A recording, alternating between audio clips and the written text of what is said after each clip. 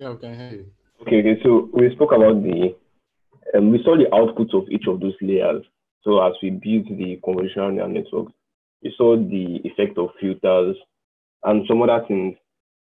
So today we're going to um, do two applications of convolutional neural network. The first one is um, style transfer, and the second is GANs. So the two of them, they work with the whole convolutional neural network flow. So style transfer specifically uses those convolutional layers we discussed to do something that's interesting. So like we're going to start with style transfer before going to GANs. So I'm sure we've probably heard of GANs, generative adversarial neural networks. So generative adversarial networks, just generative adversarial networks, while style transfer.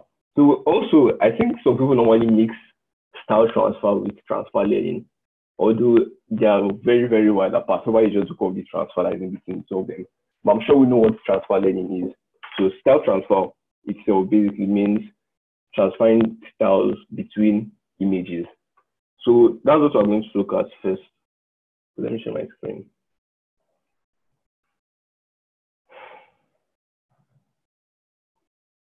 Um, can you see my screen? Yes. Okay. Yes, we can. Um, start transform. So let's look at some Google images of some things people have done in style transform. So for instance, this is an example of it here. I'll just open different images. Yeah. And this. So these are two images of style transfer. So what it does is that you have two images. So you have the first image, which is this, and you have another image, which is this. So what style transfer helps you do is to take the content of one image. So in this case, this first image is the content we want to take, and then take the style of the second image, which is this, and merge them together to form a new target image. So this target image consists of the content of this first one and the style of the second one. So that was what I'm going to discuss on how to do. So this is just a, simple example of it. Then also this, I don't know if you can see this clearly, but it's the same process. So this is our um, Android. Then this an image and combination of both of them gives this. So in most cases, um, it's just this this transfers the style. The, the the network gets the style of this one and merges it to the content of this one. So we can achieve this. So there's a paper actually. So this is the style transfer paper. So I just going to look at some important parts of it here. That so specifically they use VGG 19. So I don't know if you can try it on other networks, but basically you need to know the output of other networks. So there are just some certain theories that style transfer follows in order for you to achieve this same thing. So we'll look at it as we keep moving. So they explain the process here. So before that, let's just start with the whole style transfer thing. So this is it here. So yeah, definitely we get these notebooks. So if you have a neural network like this, so you can see this consists of both the convolutional neural network and the um, fully connected layer, which is the multilayer perceptron. So from this our input image, this one colored purple or lilac, and from this point to this place is our feature extractor side or the convolutional neural network. Then this last one in green, this light green, is our fully connected layer. So basically our features get extracted in these earlier stages, which is convolutional layers. So for representation, and which they use in this paper, you can see they represented them with conv21, conv31, conv41, and so on. So for VGG16, the way they structure their layers, so I don't know if you remember when we spoke about convolutional neural network, how we can identify each layers. So it's more like a dictionary. So you can just say, if you design your model and you load it, we do model.fc, just like what we did in transfer learning, to focus on a particular one. So it's the same thing here. So VGG, they divided theirs into model.features. Model.features gives you the convolutional aspect of it. I don't know if it's the same thing as ResNet or that one. But for VGG, they separated it as the classifier side, or that is the model.features and model.classifier. So model.features is the CNN side, model.classifier is the linear side. So for representing it now, remember what we said. So, in when we did convolutional network, someone mentioned why we're using padding. So, and I mentioned that padding helps us get helps us retain, retain the size of the image while also increasing the depth. So the depth is the number of features that were, um, the feature maps basically. So we keep appending features and this depth keeps increasing. So here we can see that we just applied the depth two times here. So they definitely use padding to retain this size. Then at this point now, which is the orange side, they apply the max pooling. Then we have a new convolutional side with um, this x depth. I don't know the size of the depth. Then we applied max padding. So just so max padding is, um, no, test max padding, max pooling. So just know that the max pooling is this orange side. So we kept reducing the dimension and keep reducing dimension and the depth kept increasing. So now for representative purpose now, conv11 is the first layer of our convolutional side. Conv12 is the second one of our first convolutional side. So if you can see it here, conv11 is the first one, still under the first convolutional block. So this is the first convolutional block here. This is the second convolutional block. This is the third convolutional block. This is the fourth, and this is the fifth. So to know the particular layers, so conv11 is the first layer, conv12 is the second layer of the first one, then conv21 is the first layer of the second convolutional block, and conv22 is the second layer of the second convolutional block. So the same thing with these two. It's the same process, the same thing with this. Then this one conv54, which is the last one, last block of it. Do you understand it up to this point? Yes. Okay. Yeah. Thanks. So, so now the whole point of style transfer now is that it separates the style and content of separate images. So, and this thing they actually already explained it well. So I'll just go over it and give us more explanation on what they already mentioned in this notebook. So you have two images down. So let's say we have this content image because we're definitely going to get two images. We have the content image and the style image. So from the paper, they mentioned the list, they explain the procedure we need in order to achieve this thing. So for the content image now, what you need to do is to extract the content from this image. So, you know, as we keep moving our image through the whole convolutional layer here, as we keep moving our image inside, different features keeps getting extracted. So from paper, they discovered that at a particular convolutional layer, they extracted the best form of images so for the content side now, you know, we keep reducing the spatial dimension. So deep down, like this fifth one, this fifth convolutional side, the image would have been broken down to the level where we don't have an image again. Instead, we have features. So area part of this have the image in it. So for this first convolutional one, I can get that since we still have the image dimension, just have few things, few things get lost.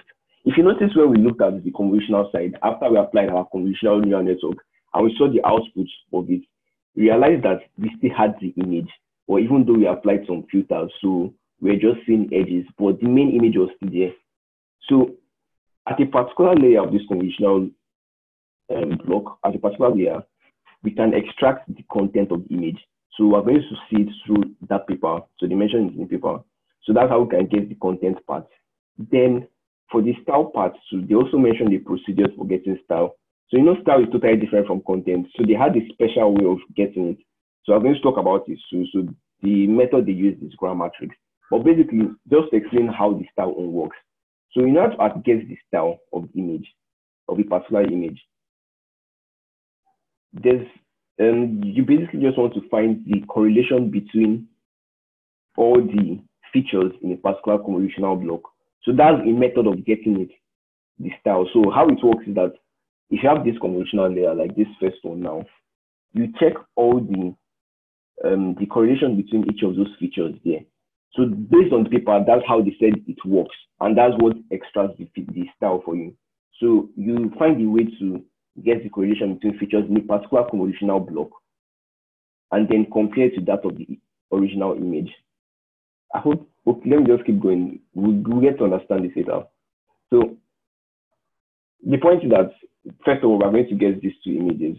So let me use here since um, I can't run, I, I don't have this pillow on my local um, system. So I'll just use Google Colab. So I'll just use the, this one since they are visual representations of most things while we run the code on Colab.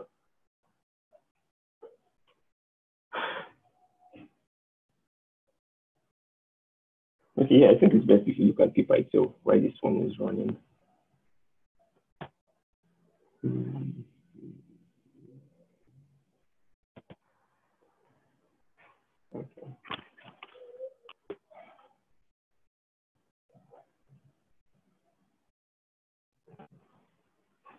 Okay.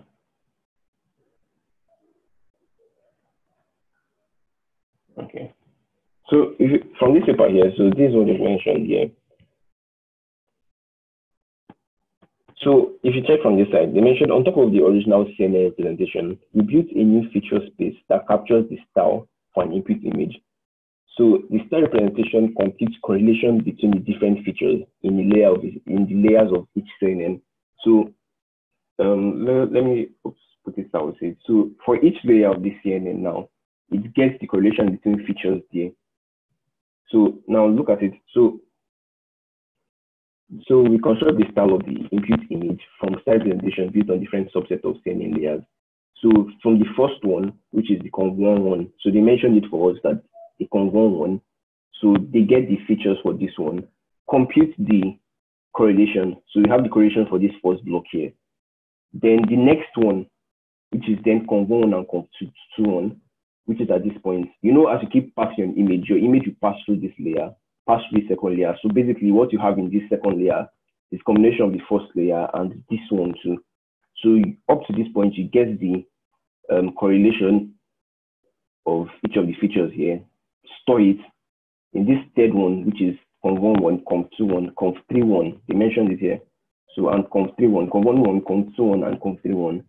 So up until this point, we also compute the correlation again. And we keep computing correlation up until conv5 one. So this creates images that match the style of the given image on an increasing scale. So with this method now, we can get the style part. So I don't know whether it's this particular people, but there's for the for the content part, like I've mentioned, in order for you to get the content of an image for VGG19, the conv42, which we see in the code, is the one that holds the output of it outputs the content of the image. So at that point, you get the maximum of that image itself. So if, if we can just identify it from here, so if this is the first one, second one, third one, fourth one, so conv22 is this particular one here. So this is one that gives us the content of the image. So with all this, we are going to use it to not train this time around. We're not training a neural network. We're going to train, however it is, we're going to update the, the values of a given image, which is our target image, for it to fit into both the content of the content image and the style of the style image. So yeah, so just go to the code. So first of all, we we get our VGG side. So like I've mentioned, it's just the features part. So that's why we are doing models.vgg19, pre-trained equals true, and we're extracting the feature part of it. So I just want to add something to make sure that we understand this. What's the difference between pre-trained true and pre-trained false? Does anyone know?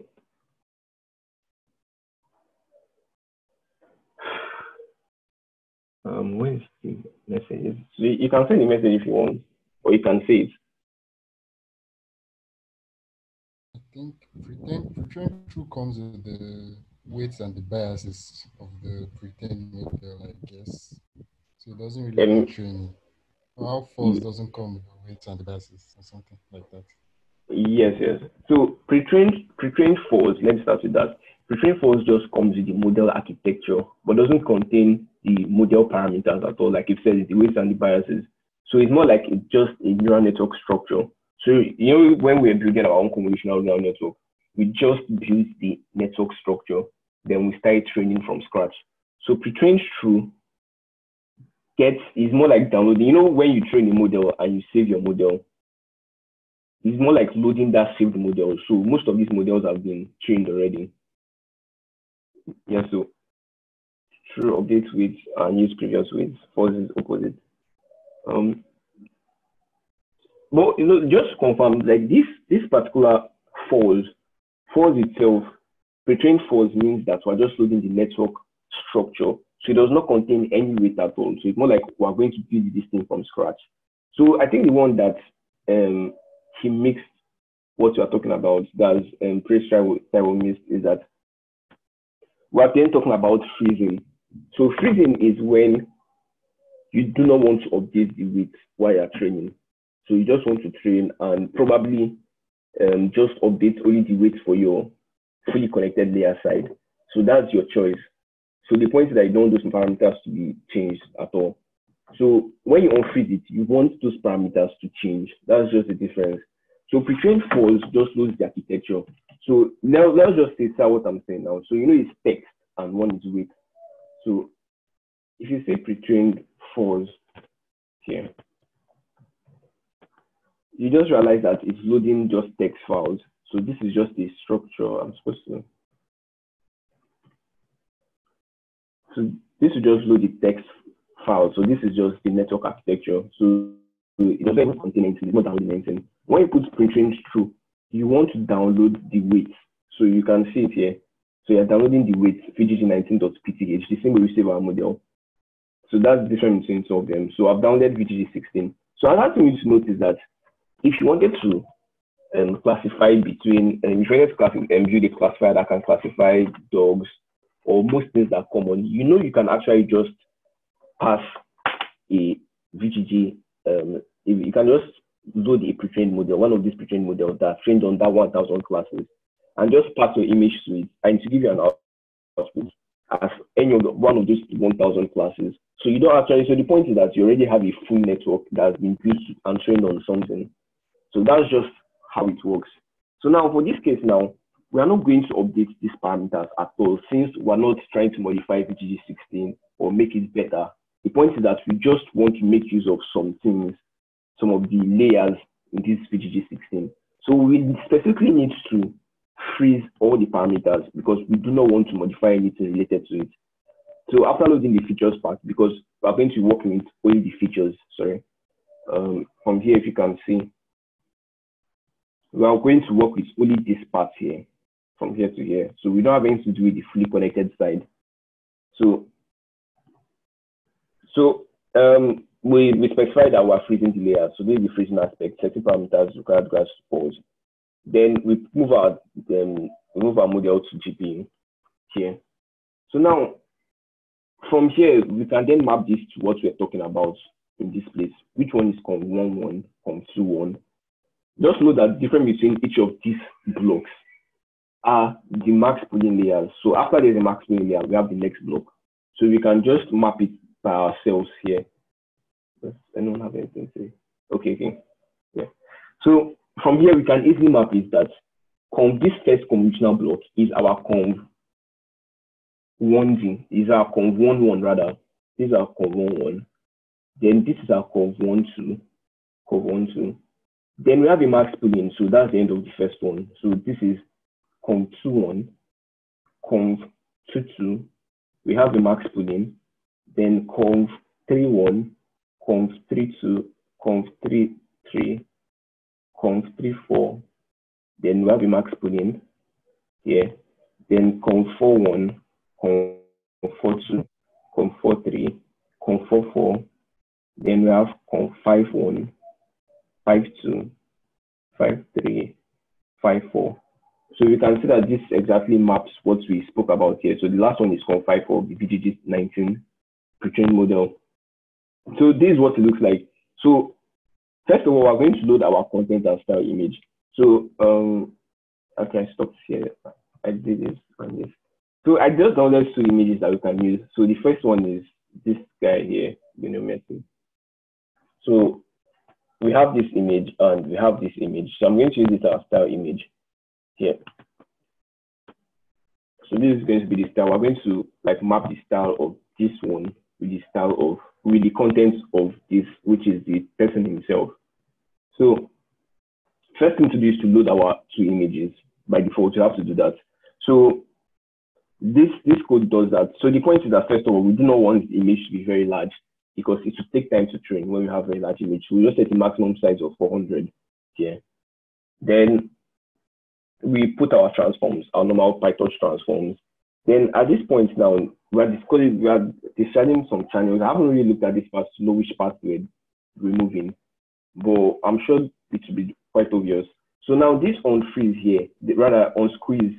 So what unsqueeze does, I think I mentioned before. So it helps you bring out your images in batches. So you, you know when we discussed about um, PyTorch data loader that it returns something like this. So 32, then um, 320, then 320, then 3. So I'm not really sure where, where the channel stands. I think it's either like this or like this. So some people, I think Kerazone is different from that of PyTorch. So the channel can either be at this place or end. So it just depends. But the point is that this first one is reserved for the batches.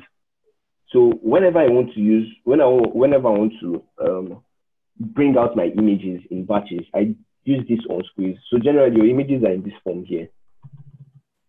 Your images are like this. They come by default like this or the other way. Your batch size can be on this side at the right hand side. So whichever one it works. But the point is that if you want to then bring out images in batches, so you want to like loop through and then for each loop, you are bringing out images. You then use this on squeeze. Unsqueeze zero, if you have something like this now, if you have something like this, if you have an image of this size, if you have an image of this dimension, and you use unsqueeze zero, so it means you want to add one to the first dimension. So you have one comma three comma this. So it means that you have one image. I don't know if you get what I'm saying. So you are just making it be in batches. So that's the essence of putting unsqueeze zero. You can also do unsqueeze one, but this does not split it in batches at all. So this would be like this. It will make your image like this. Three, one, this, this. If you put unsqueeze two, it will put one here and put your text through here. So that's how this unsqueeze. So unsqueeze zero basically just helps you put it in batches that you can load. So and then after this, this is what loads our image, then we get our image. So that's the function that does that. So this part here just makes sure that we have an image that is not more greater than 200. So now we are then going to load our style image and content image. So the essence of this shape now here is to make sure that we have exactly the same size for our content image and style image, which should be, should we should be set. We should always do that so we don't have um, bad mixtures. Um, have I loaded this already?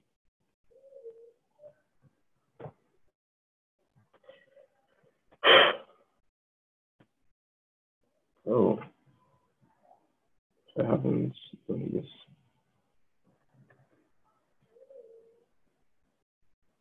Okay. Right. So, um,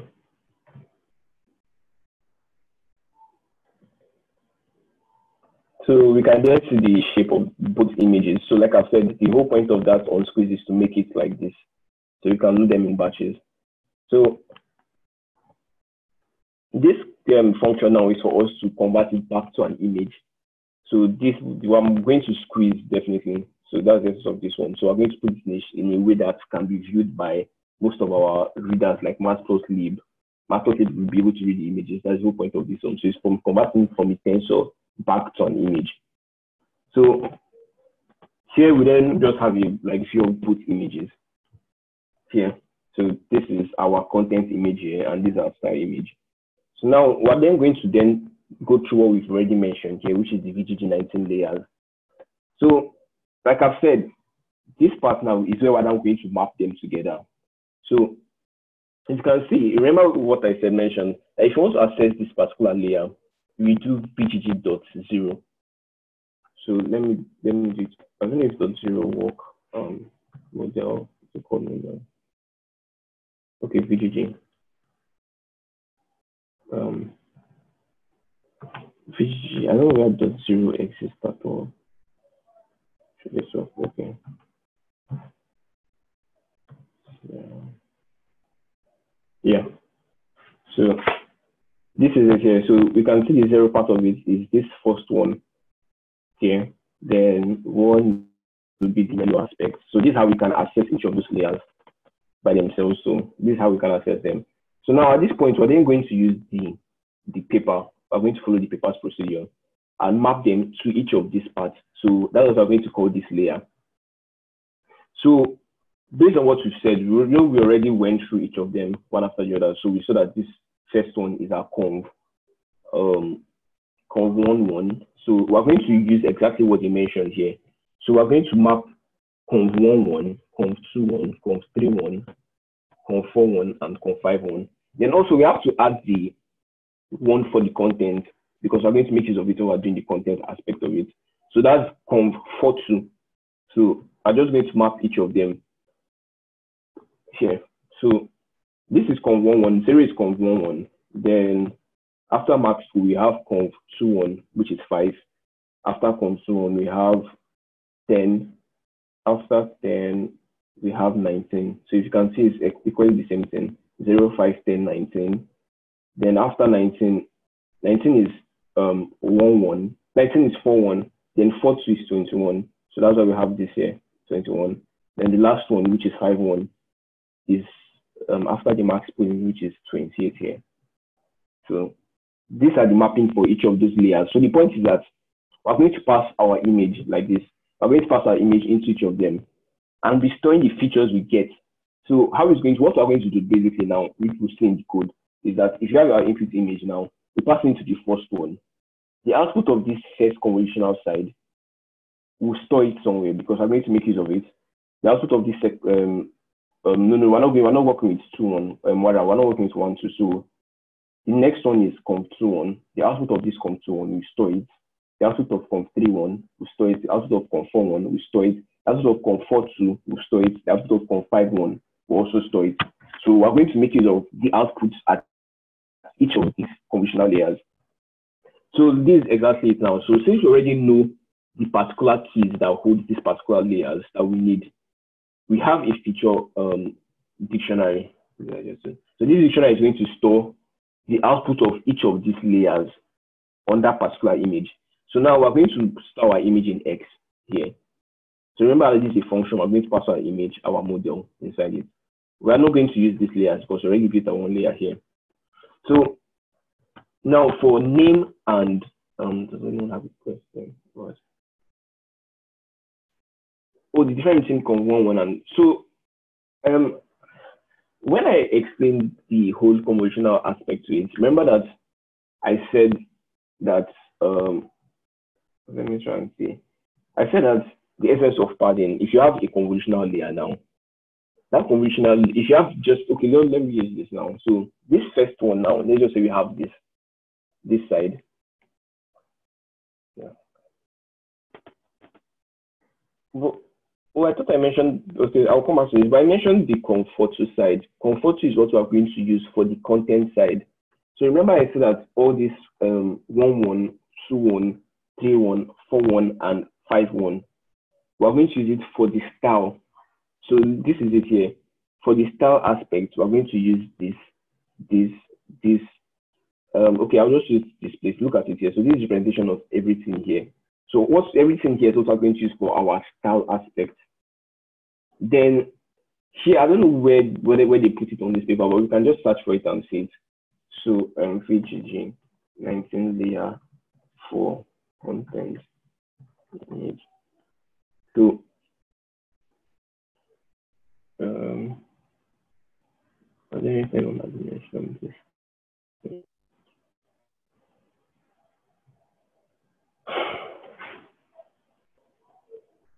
let me find on dimension this.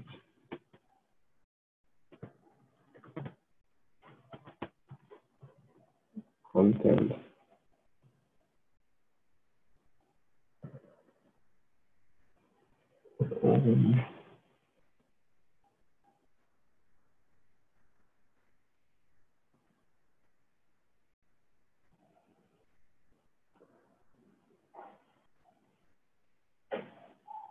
I'm trying to see which one.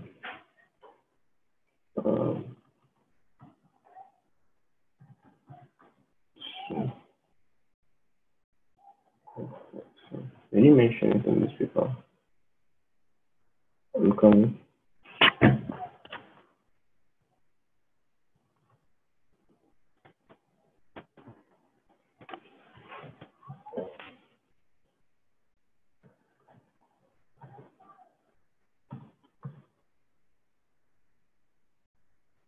Yeah.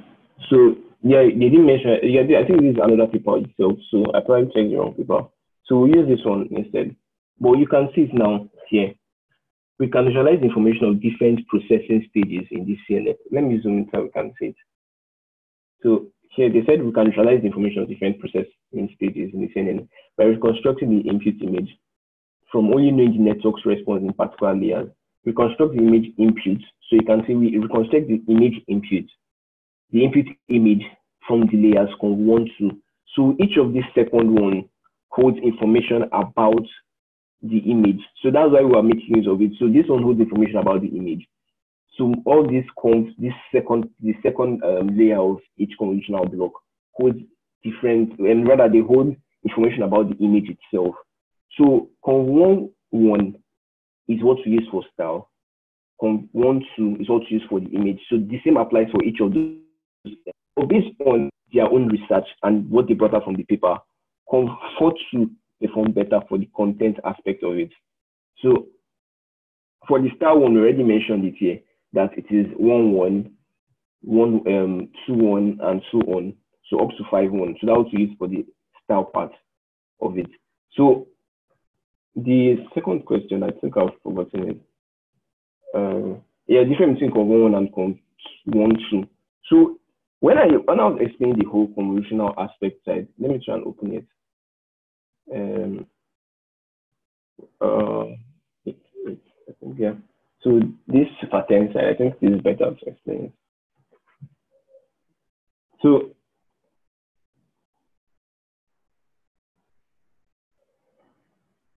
this was what I did when I implemented the um, batch normalization. So if you did your batch normalization, well, you have seen that this is itself.conv underscore bn. So that's how you implement it using batch normalization. So look at it here. When in this our convolutional aspect side, this is conv one. This conv, this is our first convolutional side here.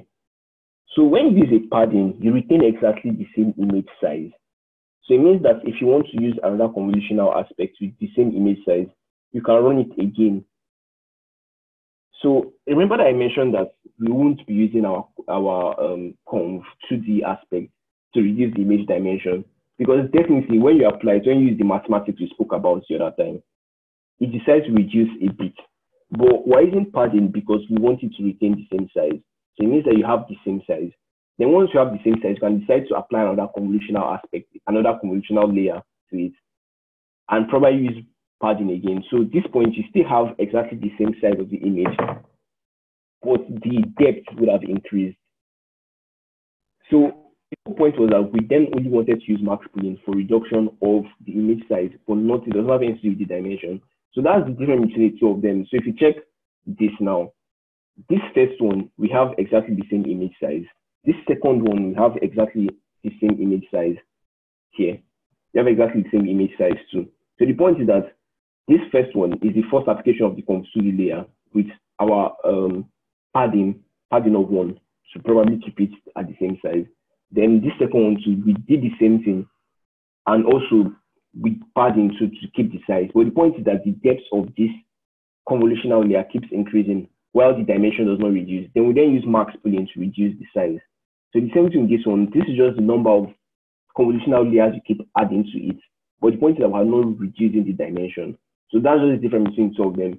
So if you look at the the distance, VGG something, you can see exactly the same thing. This is the network summary or model summary.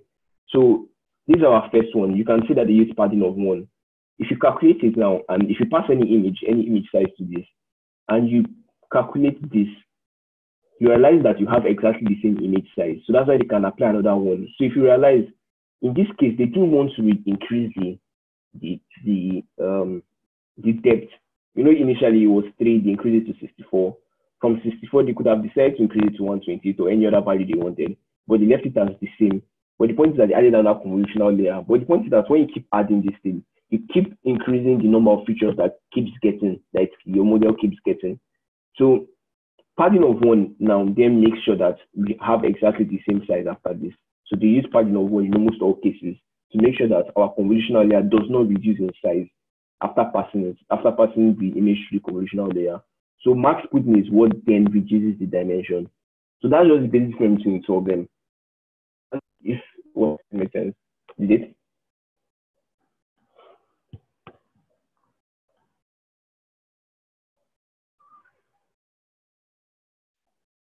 Hello? Yes, it does. Okay, okay. So from the paper now, the point is that for our content side, just for, for this part now, okay, let me see. Okay.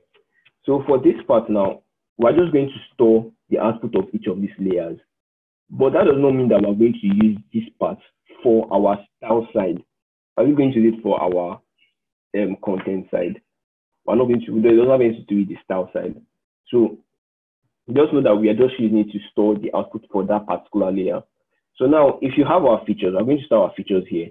So just to um, re, just re, um, repeat what I've said before, we're going to pass our image into this first convolutional layer, which is this. The first one, you know there are two, there's conv1 and conv2, 1, 2.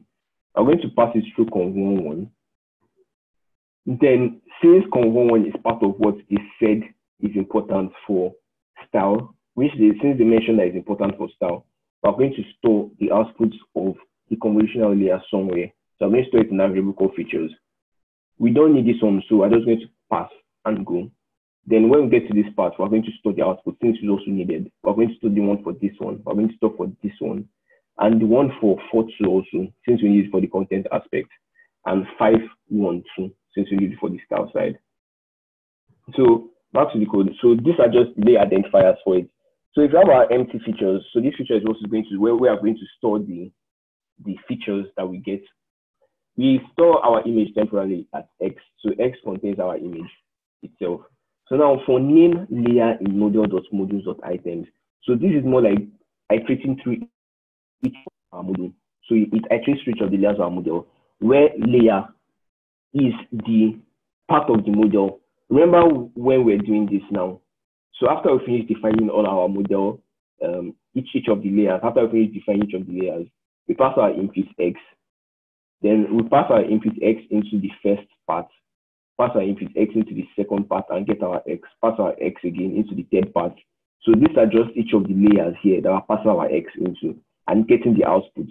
So if you can, if you can return this now, you can, oh, sorry. If you can return X here, if you return X at this point, you return the output of this layer, the final output of this layer. But you know that it does not just return this output only. It consists of this one plus this one. That's, it consists of these two since it is sequential, one after the other, that kind of thing. So let's cancel this. So, and these layers are the layers are going to pass our image into. While name is the name of the layer. So that names are this 0 to 36, 0, 1, 2, 3, 4, 5, 6, up to 36. So now, so we pass our X, which are image, into the layer, get the output. So now, we now want to check if the name of that particular layer is in this layers dictionary that we have here. So if it is, it means that it's an important thing for this style transfer.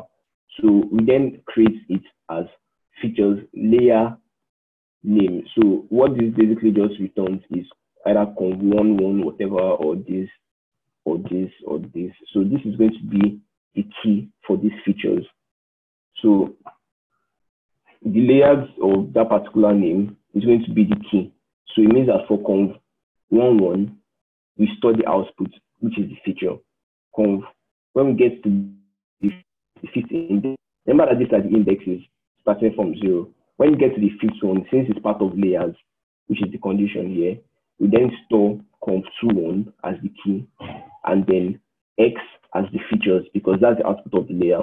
So we'll have to do the same thing for each of them and we'll have our features. So do you, do you understand that part? Do you understand up to this point?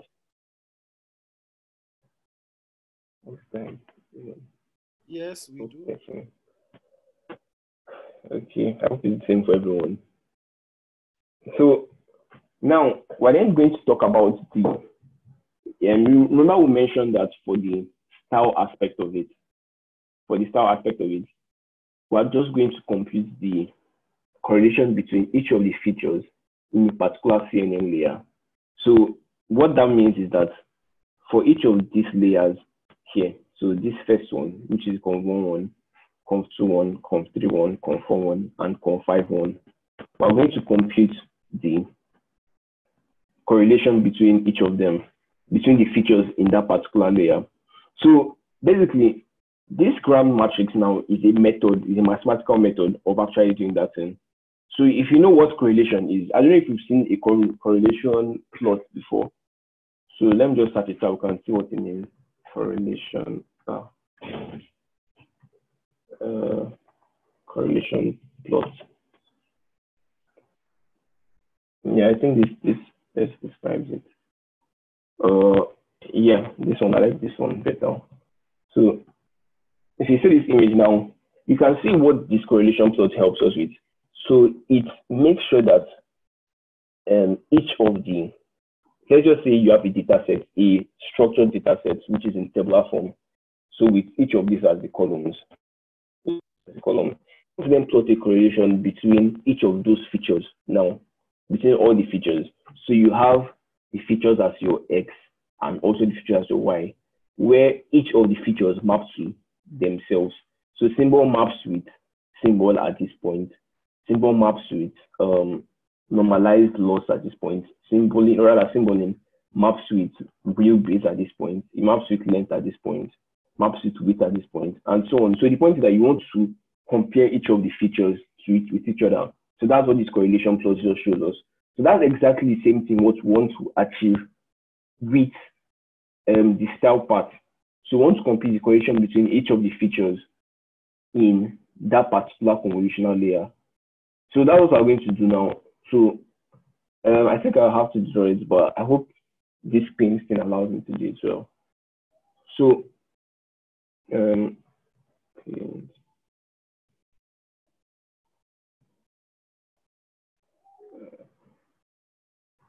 so look at this here. So um,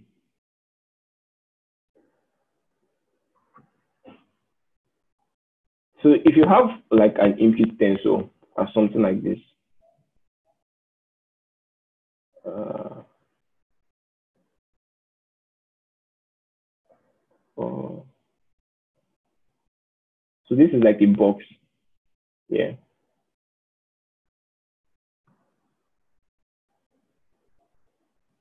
So this part is our height. Let's just say, okay, I want to use eight. Let me use three, since three is small. And the width is three. And the depth, so the depth, the depth is very important for each of those convolutional layers. Let's just say the depth is eight at this point. So we have an image or an, an output, the output of the layer as such. Um, say something.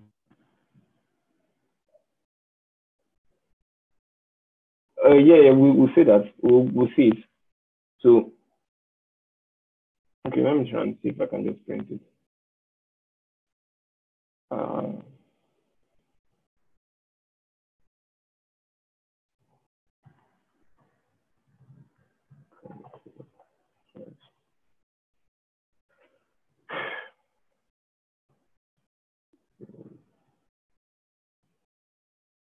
so.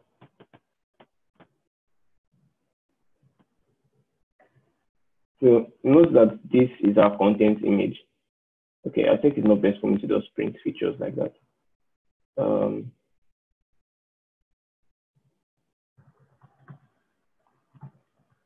so note that this content is our content image and this is our model. So that's what our features require, our image and our model. Um, okay, sorry, the dictionary. How well can I um, okay, I'll, I think I'll just print one of them. The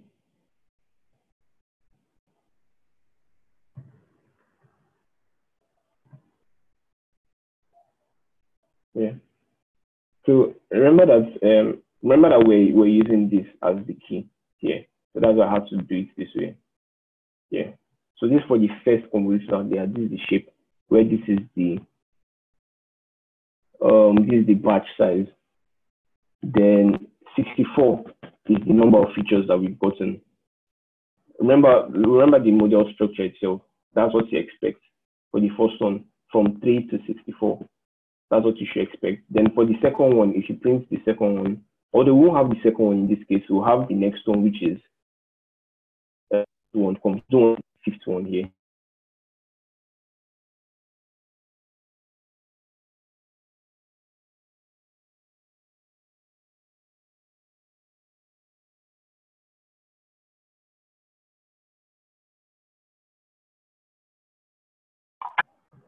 Yeah.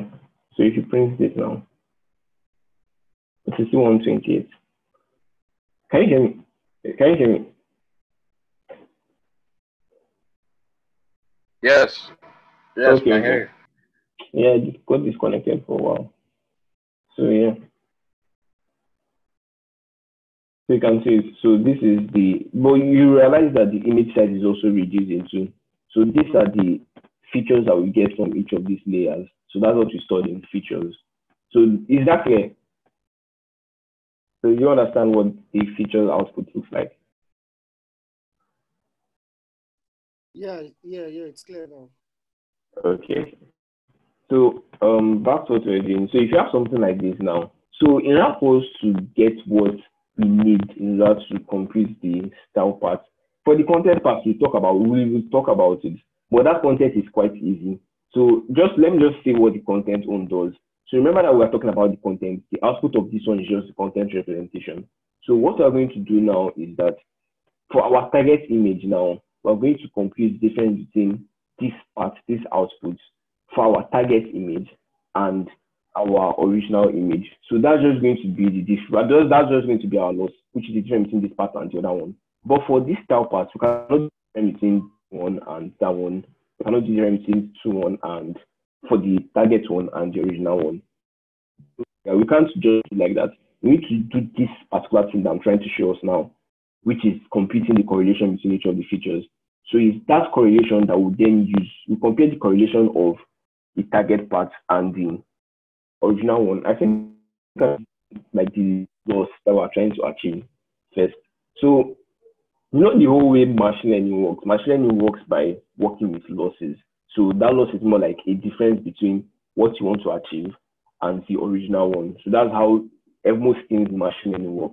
So it's basically the different things of them. They then update in order for the loss to reduce. So now we have a content image and we have a style image. Then we have a last image, which is our target image.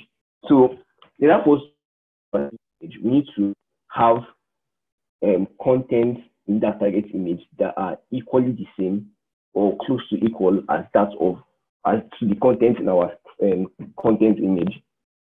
That's once the content of the target image should be to be um, equally the same or almost the same as that of our content side.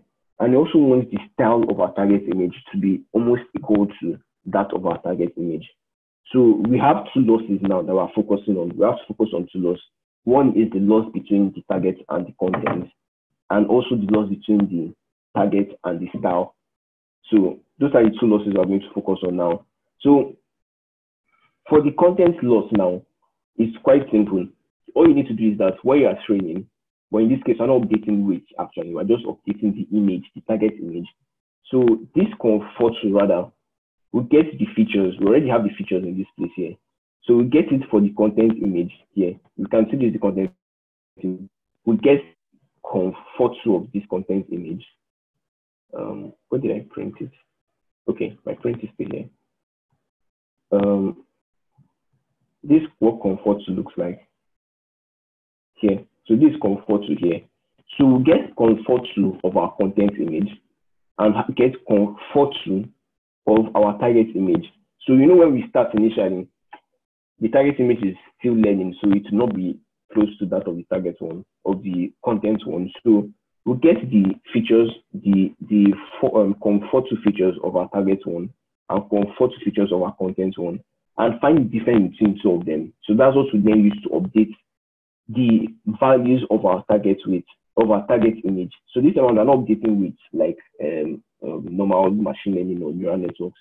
I'm just updating the image itself, updating our target image for it to look like our content one in terms of discomfort here. So that's the loss for that one. So it's quite straightforward. That's what we care about. So now the main thing is now the style, where we have to find the difference, which is the loss between this one for the target and that of the content. Um, the the target between um, and the content image, the style image rather. So we are going to compare the output of this one for both the target image and the style image. The same thing with this one too. The same thing with this one. The same thing with this one, and the same thing with this one. But this time around, we're not just doing it straightforward like this, because this only gives. This does not give us the style itself. It only finds that correlation, um, the correlation between the features. That's what gives us the style. So that's what I was trying. What I'm trying to explain at this point now. So if you have this as the output here, so let's just say this is the output of our conv one one. So definitely it's not the output of this our conv one one, but let's just assume that we have our conv one one having this output. So now if you want to com compute the correlation between each of the features in this particular convolutional layer, now how this gram matrix, which we are going to discuss now, works is that, but first of all, note that gram matrix is a method, is a popular method that works very well. But I'm sure that there are many other ways to compute correlation between features. So you can decide to check it if you want to see other methods. But in this case, we're using gram matrix. So now if you have this as the output, where this is the depth and this is the size of that particular feature output. So what gram matrix does is that it um, let, let's have a, a front view of this particular block, where that front view is something like this. We're looking at this part. This is what we're looking at, the front here. So we have this, come to right, we have this. Um, um, I hope you get why this is this. This like this. But this time around, I'm looking at just the rows, not the columns. So, you know, because there are three rows, so that's I'm separating them into three rows. This is the first one, um, the first one, second one, and third one. Then you can also decide to put the columns, which is, which will be here, here. So you have the first column, second column, and third column. But we're not going to use the column at all. So now, what gram matrix does is that it um it stacks each of these ones together as just a single line. So it flattens this, it flattens this three. So you have something like this now, where this is the first one, the first three, the second one, and the third one. I'm just going to erase this part this side.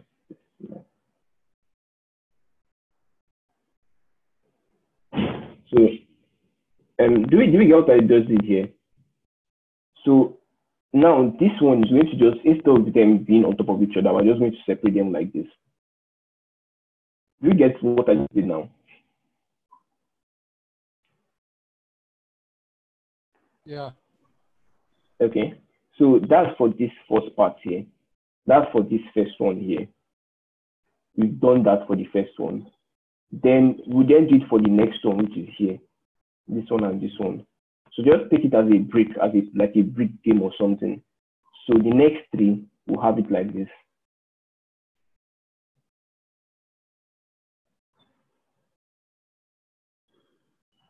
Yeah. So we keep doing the same thing. So just to like know if you understand what I'm doing, what would be the total um, um what, what would be total number of rules in this meeting that we're trying to generate? Eight. Yeah. 24. Okay. Uh, no, no, it's, it's going to be eight. Yes, exactly. So it's going to be eight because I'm going to do it for each of these eight, these things. So we're just going to keep doing the same thing and so on and so on. So we'll have this this side, the length, the the number of um, columns here, or the length or the width rather, will be three times three, which is nine. We have nine here, and we have um, eight here. So this this is just like a representation of all the features here. You you get what I'm saying? So this represents all the features. So now for us to then do the main part of this gram matrix, which is now finding a correlation, is by simply multiplying it by its transpose. So just multiply it by exactly its transpose. So its transpose would be something like this, where you have 9 here and 8 here. So when you do this now, when you multiply these two things, um, can anyone just see what the total size would be? It's quite simple, Shabwa. By eight. Yeah, exactly. So have it by it. So now this makes sense intuitively because based on the correlation matrix I showed you the other time, this is like also doing the correlation between two things. So if you want to do the correlation between this part and every other part in it, it just handles it by multiplying it by tra its transpose, where this one multiply this one, this one, this one, this one. It also multiply everything here. So the same way our matrix multiplication works. So it means that every part of this is going to touch every part of this. So this is exactly just like finding the correlation. So that's how gram matrix works, and that's how we satisfy that condition of finding correlation between each features in a particular um, layer. So this would be the output of it when we find the correlation. So does that make sense?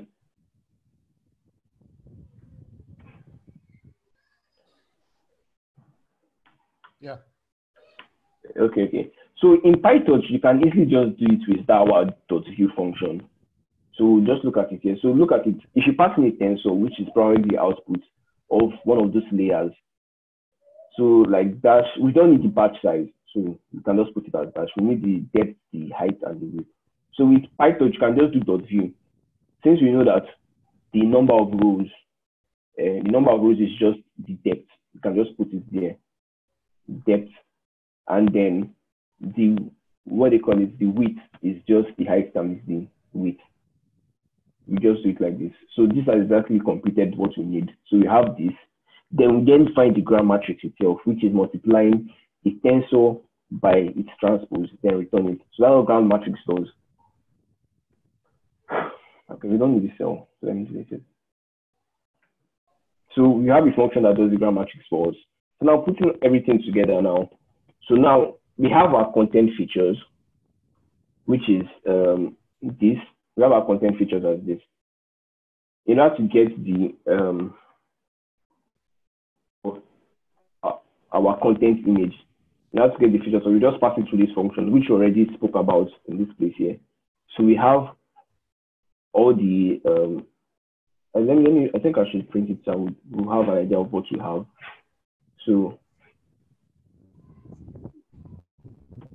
Hmm. X for X in, in content features. So, um, so you can see now, so our content features now, we have the keys as all these. So these are all the keys for our content side. But note, like I've said, we do not need this part here. We do not need all these ones. These ones we need for the loss. So you see where we only make use of this for the content part. And for the style parts too, you can just do it like this. So it's still the same keys. So we're going to make use of this one, this one, this one, this one, and this one. So now, um, now that we have that, we can then find the style gram. So the style gram is now the gram matrix for each of those style features.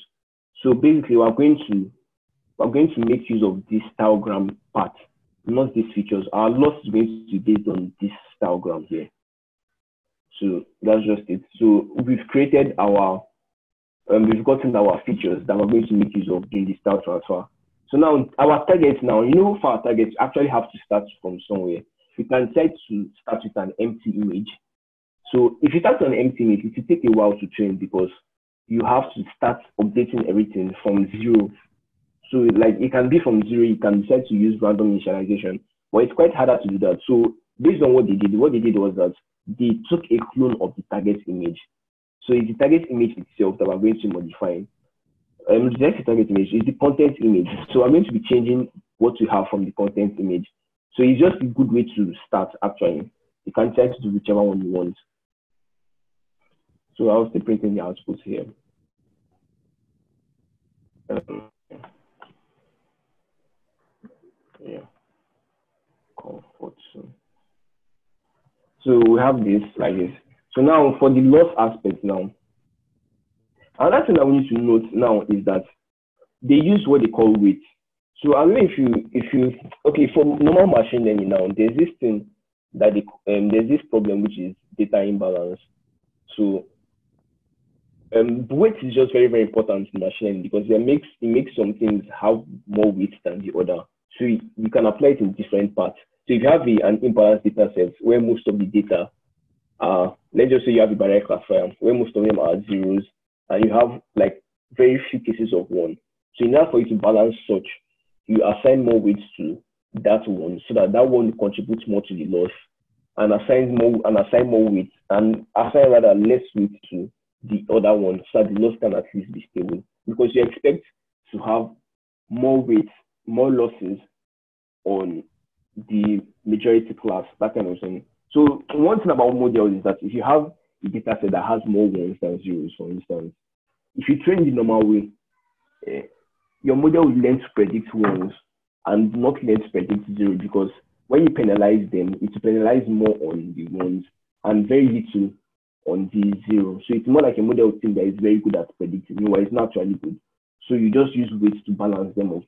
So now for this one now, first of all, there are two types of weights we are going to work with. So this first weight now is that we want to have um, bigger features of styles because you know each of all these things are different layers of the CNN. And as we keep moving forward, um, style contents get lost and we have more of the actual content we want to predict, which is more like the main content itself. So for each of these layers now, the style keeps getting lost because they are not necessary to what we want to predict. So at each of these layers, they get lost. Now for make style itself, we'll add more weight to this initial part because this part contains more of the style than these other ones. So it's good to give this um, this weight for each of these this style weight value between zero and one. But for the later um, layers, we'll give lower weight to them because at those points most of the style would have gone off. So we want to maintain these weights at the initial start, the style at the initial part. So that's why we give this one higher values of like one, and this one 0.2. That's for the first one. Then the second weight now is that for the content loss and the style loss now, we're now going to apply what I just spoke about, about data imbalance. So when you train, in most cases, if you give them equal weights, let's just say if you give style one and content one, because of the way the model trains, you have more content than style. But that's what we want. We actually want is to be balanced. So we increase the um, the number of the weight or how much the loss penalizes the style so that when you have our output, we'll see enough of that style that we want in that particular image, which is the target image. So the normal use this ratio method where it is just the value of the content over the the um, the weight of the style. That's the weight of the content over the weight of the style. So in most cases, they want the content to be one. Then the style can be any value. But in most cases, very large value, so you can have more style. But the thing is that you just have to make sure that you don't make it too large, because if you make it too large, your output will be almost all style. But if you at least set it like zero and um, one um, this one times ten is about six. That's this one here gives at least a very good balance between the two of them. So that's why we that's the essence of this weight. This weight is just like it makes us this alpha and beta here. They call it alpha and beta. So it's for making us um, know how much of the content is going to be on the image and so that's just the whole essence of this two weights. So now that we have that now, like I've mentioned now, the content loss is just the um you if you I don't know if you know mean square error, but basically mean square error is just your target minus your actual squared divided, um, divided by the number of examples you have. So which is the mean itself. So it's just target minus um actual, then you square it. That's mean square error. So you there are use of mean square errors for each of these losses. So the content loss is the mean square error between the target features and content features, which I've said, which is quite straightforward. Then for the style part, now the style part is the difference between the gram matrix output of the target side and the gram matrix output of the style image. So now this is the code for it. So first of all, you know what our, optimi- our optimizer is, which is Adams.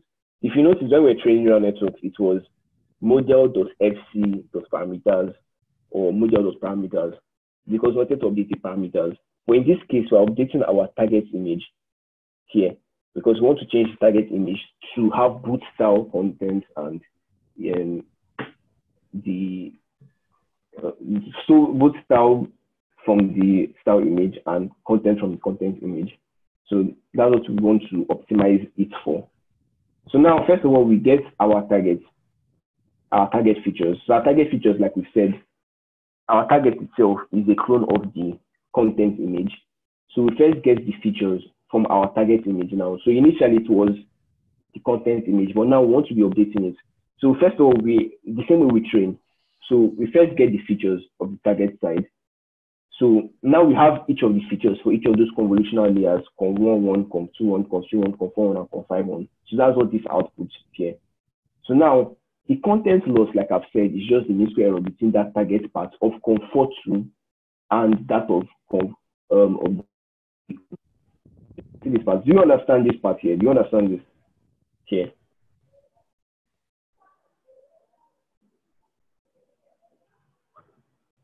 No, no, I don't understand it. Wow, oh, and you should have mentioned it, but eh, okay, what what was exactly the issue? Okay. For those that don't understand, I want us to like follow along with this. So where exactly is the issue?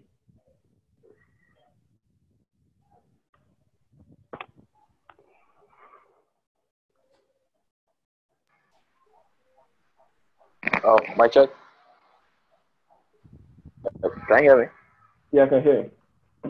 So uh, my confusion is with the target features and the content features. Oh, okay, the target features and the content features. So, Yes. like I've okay, like I've said, uh, the content. You know, we need the content image itself. The content image is there since you have to load it, and the style image. Those two are there. But what they did here was that, you know, the content image now contains an image, an image structure already. So we can just create a clone. Like if let me put it here. Let me straight this part here. Um, let's talk about this one. So look at it, creating a third one, which is the target image, and prepared for changes.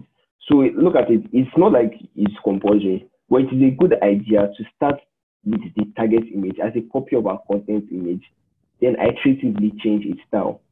So it's just a clone, and it's just an initial clone of the content one, but it does not have anything to do with the content. That's just the point. The point is just for it to have a structure. You can decide to put it as np.zeros or torch.zeros. So you can try to start with all like initial values, touch just one. You can try to start with random variables, but like it's just good to start with at least the content image. Like you have to change. I don't know if you get.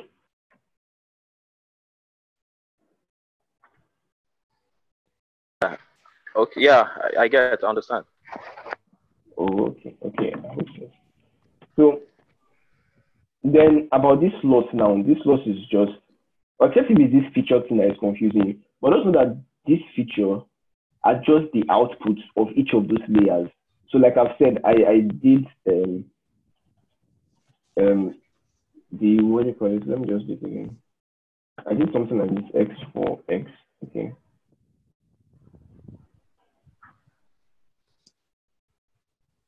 Uh, okay, yeah, you asked if it's too high. It says that when you are training, you keep trying different methods. But even as you said it's too high, eh, it's actually still low because I'll show you the output that I got from this. So it's just for you to know, it's just like um, it's just like your taste actually. It's just you want to know how much of style you want to have in that image, how much of style you want to have, or, or how much of the content you also want to have in that image. It's just like this balancer. It actually depends on you. I can decide to make more of the style to be in the image. It just totally depends on your choice, actually. So based on my my taste, when I did this, ran this code, my um, I'll show you. If I let me just show you, even though I want to show it at the end. um, look at it now. If at the end of the training, uh. At the end of the training now, this is what I finally got here. So if you look at these two images, this part is gotten from the style and this image itself. So I might decide and say that, okay, like I feel like the style didn't really show well in this thing. I can then increase it more. So that's just the whole point of the tuning or the changing of weight. So that's what it just helps you do. Mm. Okay. So um, back to what we're doing here. So for X for X in uh, content features.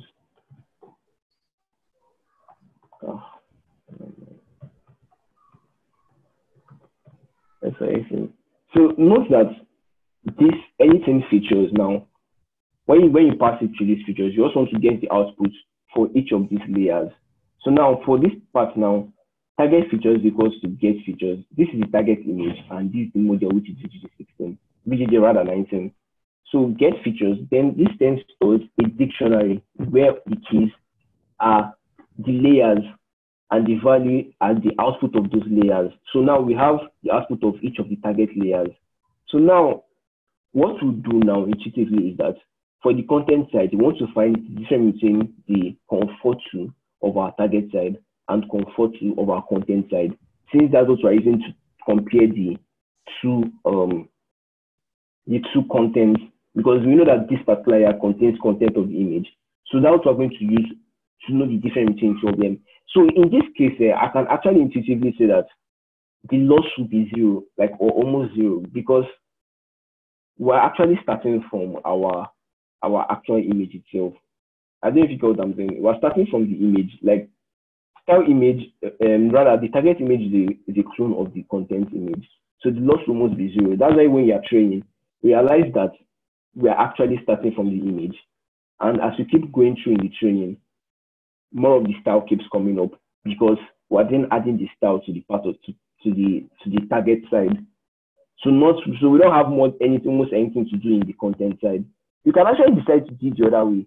Let me try and do it. I, I think what I'll do is that I'll start with the the what they call it the style this time around. You know we did a clone of the um did a clone of the content. I think I'll do a clone of the style in our training, but let me just finish the explanation of this. So the loss is just two. So in this case, we expect this loss to be almost zero. I think I want to print out the content loss. I will say content. Let's go loss. So while we're I want us to see this part. So, so then the style loss now. No, now remember that I said that this style loss is going to contain the style loss for each of the layers summed up. So you know that for the um for the uh, the content aspect, it was just comforting. So we did not worry about we can't add anything. This is just one. But for the content side, we're going to do the style the for the style part, we're going to do the style loss of this one, plus the style loss of this one, plus the style loss of this one, plus the style loss of this, and plus the style loss of this. So which is what we're going to do now. So for layer in style width, so um, style width is this here. So this just this our style width here. So we're going to go through each of these. One, two, three, four, um, five. So you notice that this one does not contain that conv4 because we are not going to use it for this style aspect. So for layers in each of them, in the style width, then um, target features is this. So we get the features for each of those target layers. So in this case, note that at this point, conv4 is omitted because of this particular iteration here. So when we get it, we then complete the gram matrix.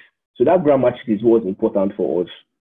So after completing our gram matrix, then this will, I'll explain why this one is just for normalization purpose or just like balancing purpose.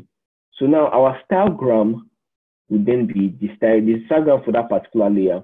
Notice that when we pass this style, um, yeah, when we, when we do this now, this gives us the the um the gram matrix part for our particular target. So we know first of all we get our target features from this target for that particular layer. So if for instance we're doing conv one, the features for conv one, then pass it into our gram matrix to get the correlation between each of the features in that point one one. Then now we then do that for the style aspects. We get the gram matrix for that for that particular point one one. So these are our targets and these are our actual here. So that is so from there we can then find the loss for that particular layer, which is the style width. Remember I mentioned that the star width for for conv1 1 we have this as our star width. We have um one because we want these ones to contain more weight than the lower part of it. So the star weight multiplied by the mean square error between the target gram here and the star gram. So now we have the loss for that particular layer conv1 1. Then now we can then add it to our style loss. So the essence of this part is just to balance it or normalize it. So when we look through each of those four layers, or is it five? Zero, one, two, three, four. Zero, one, two, three, four. That's five for each of those five layers, which is for the zero. Um, okay, let me just. So it's for this one, this one, this one, this one, and this one. So we are just going to append them or just add them to this particular total style loss. So this style loss then contain the sum of each of them. So this part, like I said, is for balancing itself. Since we are summing it, we then have like an average of all those style losses for those five layers. Then we then have a total loss. This total loss is now the sum of our content loss and our style loss. So note that these are content loss and these are style loss. While we're multiplying the weight, which is the alpha and beta that I've mentioned. So this one is one and this one is zero point, or is it one times 10 to power six? So that's it. We have our loss. Then we can then do our normal PyTorch process, which is optimizer.zero grad, clear gradient, and then what they call loss dot backward and then optimizer step. So this is what then optimizes our, so that's what we put in our optimizer.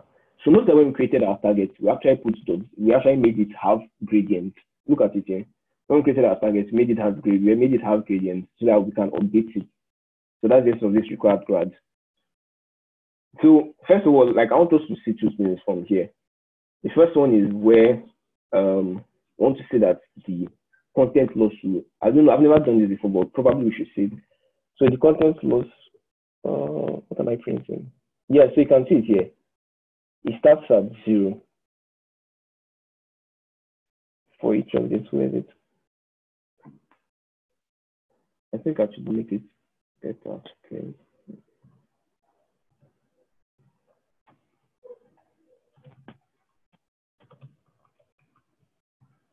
Yeah. So you can see it here. Um, the, okay, now it's, it's already made updates already. Let me start it again. So I'll see it.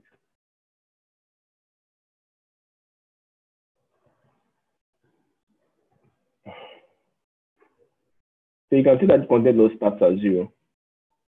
So that's just whole point because we actually start from an initial part, which is the content loss, since there is a clone of it.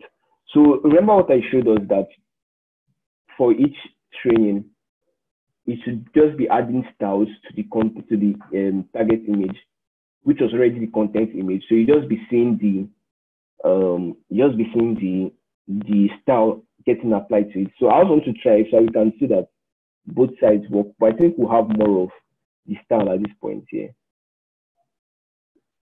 Um, style.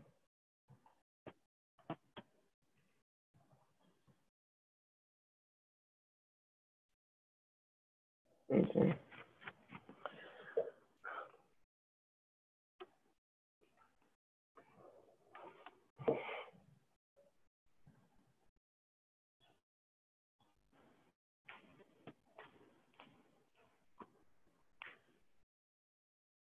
So you can see, so this time around, it's starting from the from the style itself. But we know basically we want to start with this because we definitely want to see more of the content than the style itself. So that's why it's just best to start with the content itself. So you can see, so I think in this case, we have to increase the weight for the content. We want to increase the weight for the content. I'll just stop it here and go back to the use of the style as our clone, rather the content as our clone. Then let me try and make increase this So like this. Oh, this one. Uh, I cancel this. Okay.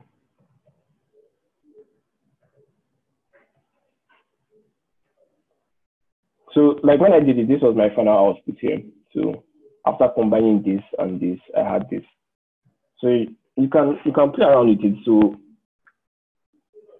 mm, you can mix multiple images. You can mix any image you want. You can just try it out. So it definitely work. So yeah, yeah. So this so this makes more sense because in most cases I want to see more of the content than the style itself. So please, does anyone have any confusion or question or anything regarding it before we move to the next one, which is GANs? And it seems that GANs is quite more tricky, but it might be straightforward though.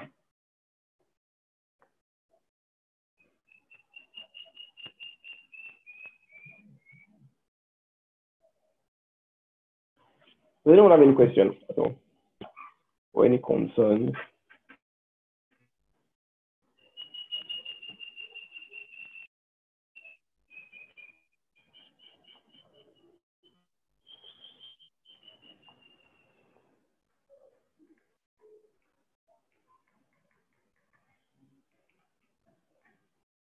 Do you have any questions at all?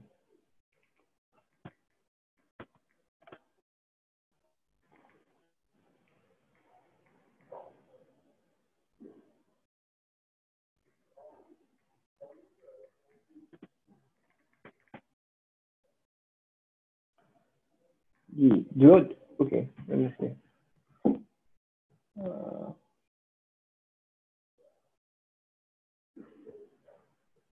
okay, so let's start with this NLP. So the NLP, like today we're not operation about computer vision. So next week we're starting with NLP. Then for the start applications, um, I, have seen some applications, I can't remember, but basically, let me see. Can I just started? Application. Oh. So there are many applications actually. I know you can use it in this, what they call it. You can use it in most of these um, image editors if you want to mix two things together. But I don't know if there's a, you can actually just check it online for other applications. I know that's the popular application for mixing things most of these editors, most of these um, photo editors and all. So that's one of it. Then there are some other applications too. I can't remember.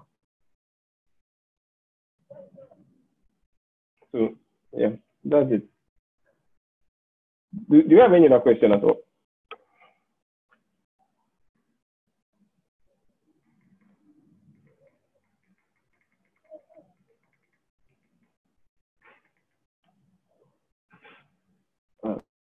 Uh, okay.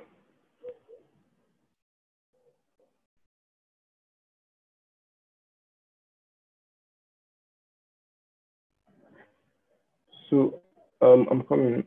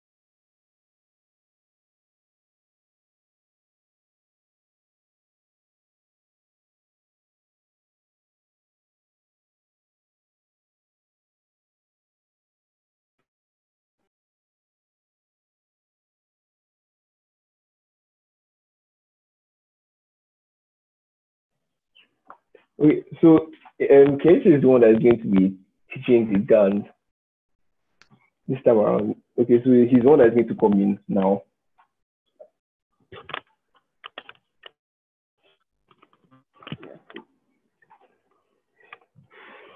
Hello, guys.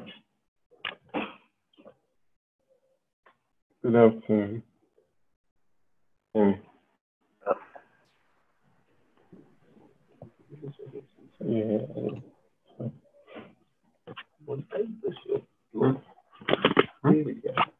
said something. This your clothes. Hmm. They're not here. But this is like one. You you use the one on Colab.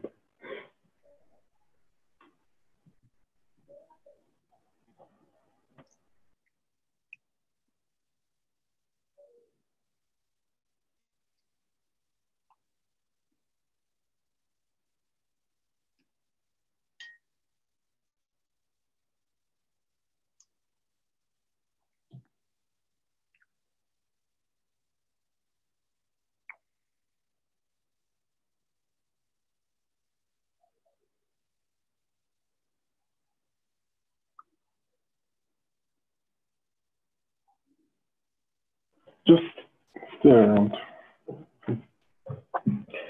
Okay, can you guys hear me now?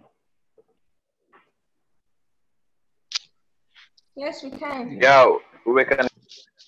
Okay, so let me start.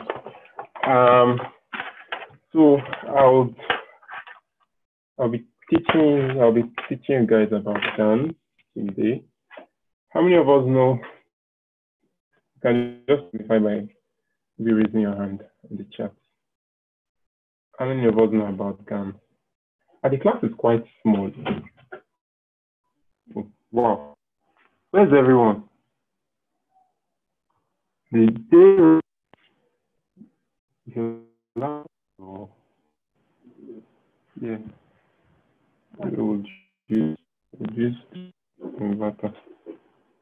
Okay. So how many of us know about GANs? No one. None of us know about GANs. Oh, it's interesting. How many of us were in the the machine learning class um, in the last course? last course four? I was I was in a machine learning class. I heard about Yeah. GANs, but I didn't understand it. But I heard about GANs.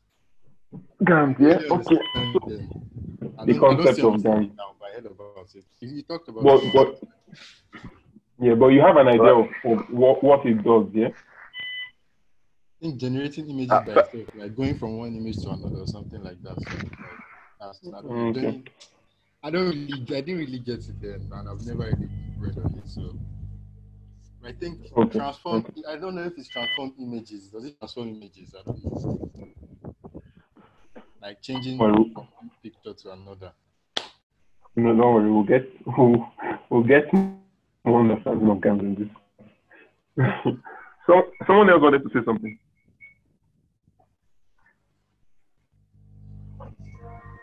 Okay. Um, uh, my check. Yeah. Uh, so um, the only thing I know about GANs is um, I know it just generates fake faces. That's the only thing I know about GANs. Okay. It generates what faces. Uh, not faces. Let's say um, fake images, images that are Oh, not real. Okay. Okay. Okay, makes sense. Let's start. So the thing is, um, uh, okay, let me just use the. So I designed this slide to look more or less like a notebook, and um, I might just be reading the things that are written there too. But it's something that everyone should uh, can follow through. Yeah. So GAN is something generative adversarial network. That's GAN. It's something that was um, first um, explored by um, Ian Goodfellow in Yoshua Bengio's um, lab. That was in 2014. And since that time till now, a lot of um, advancements have um, occurred in generative adversarial, that's around generative adversarial networks have used to do um, more complex things and even generate um, um, very, very, very more realistic images as compared to what it was generating, um, say, five to six years back. Right? Um, a very common example is um, generating um, text um, number digits, that's the MNIST data set. So one of the um, early applications of GAN is training a network that that's on its own. If um, it receives, after receiving some noise, it will on its own generate an image or a realistic image out of that noise um, um, vector that we passed into it. And then another early application is generating uh, human faces. So you'll notice here that um, these faces are not so clear, yeah? So these are one of the early um, applications of GAN. And GANs have um, expanded to um, various other things. You have things like um, pix-to-pix GAN. So if we um, look at this link here, it's more or less like saying you you, you impute something. So this this um, particular um, should I call it model is trained to generate images of cats based on um, things you draw. So you can just start any drawing here. So it's a big picture to picture um, um, generation, yeah? So you can just start any drawing here and then you should complete it to look like a cat, yeah?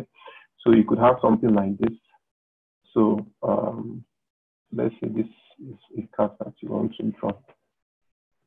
If you process it here, so downloading the model very the model that is learning time. I don't know if we can wait for this thing to complete. Should we make, should we wait or we should just continue?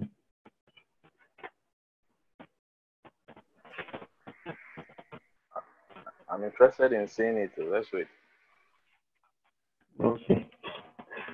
Okay, so the idea is that it's passing this into a, let's put it, so just think of it, passing it into a model, a model that is trained very well such that it's able to generate images from just nowhere, yeah, based on um, experiences it has already, yeah, or based on the weight that it has been able to trace. It will be able to translate this um, input image, which, which you can look at as a noise, yeah, translate it into a realistic image of a cat. Yeah. Okay. So see, it's it's I think it's drawing the back of the cat. Am I right? So now let's say we give it a mouth and give it a nose. You can see that it's looking like a nose, yeah? And then we give it an eye. Is it an eye? Two eyes, yeah? Is it making sense? And then we give it body.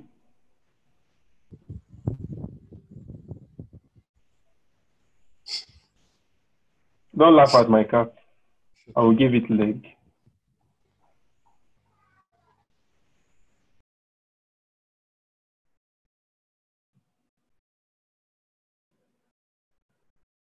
Okay. There's a chat somewhere. Okay, someone said cool. I have not seen anything about GANs. So these are these are some of the um, things you can do with GANs. Yeah? I think it's not limited to this on this side. Here you have something like this where you have an input like this, right? And then you convert this input into this image here, right? You have the one where you draw a shoe and then it generates the, an image of a shoe. You draw a bag, generates an image of a bag, and so on and so forth.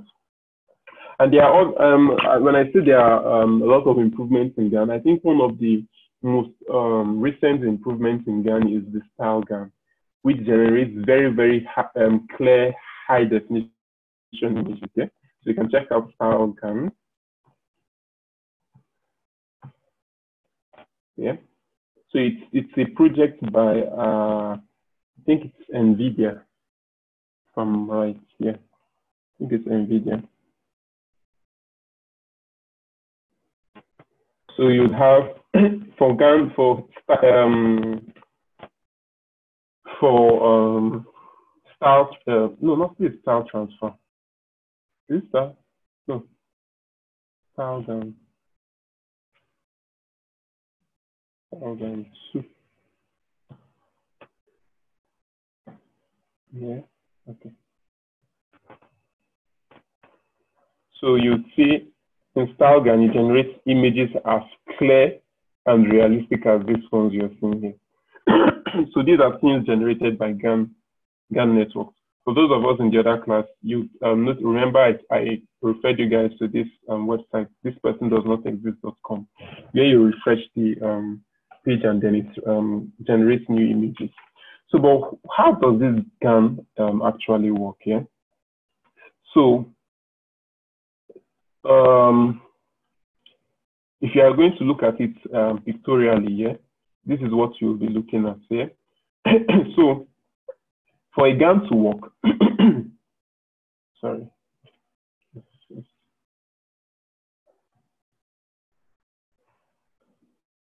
Okay.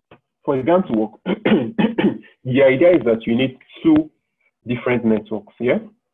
A discriminator and a generator. Um, the idea is that, um, or the, what, what, what, what people, um, the way people look at it as, um, is in this way. You look at, they look at it as, it, the, the two of them are, are kind of playing a game of, um, should I use, um, let me use police and see, yeah? So the, the, idea is that this discriminator is like your regular neural network that predicts classes, yeah? But this generator, on the other hand, does something different. It generates images out of noise. So this noise is what you call a latent, a latent sample Z. So what you have is a discriminator that predicts two classes, real and fake, right? So the idea is that you want your discriminator to be able to identify real images when it sees real images and identify fake images when you see fake images.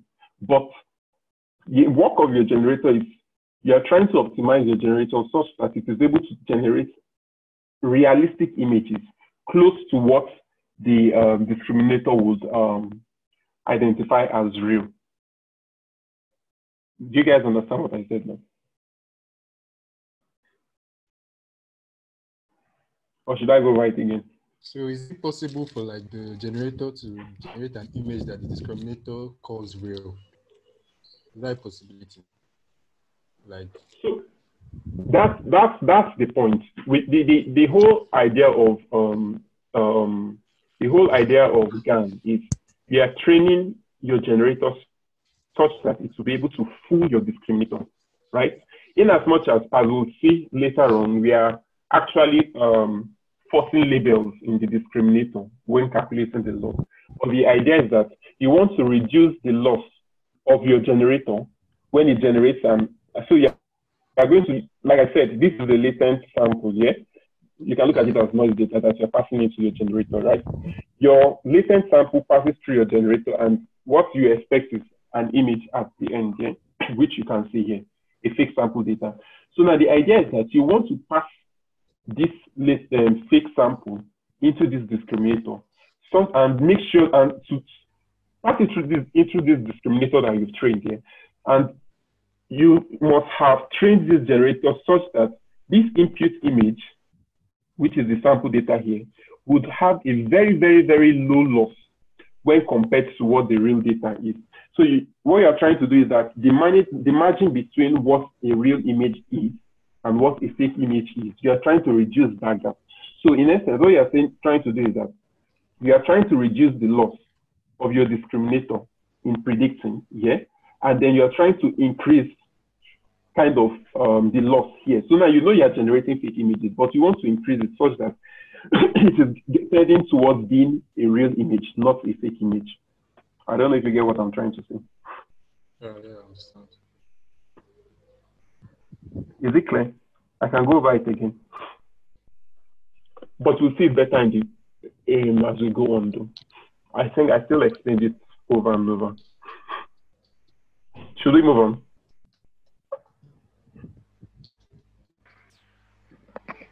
Um, uh, can you go it one more time before you move on? Okay. So now, I'll, I'll go over it again. The idea is this. You have a discriminator, you have a generator. The work of your discriminator is the work of your normal classifier. Classify real images from fake images, yeah? And the work of your generator is to generate images, right?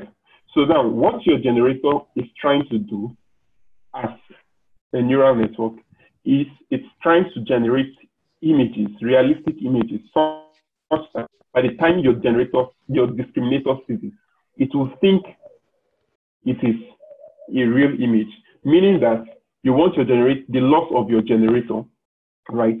That loss that um, tends towards generating image, um, real images, you want it to more or less like um, be very, very, very minimal.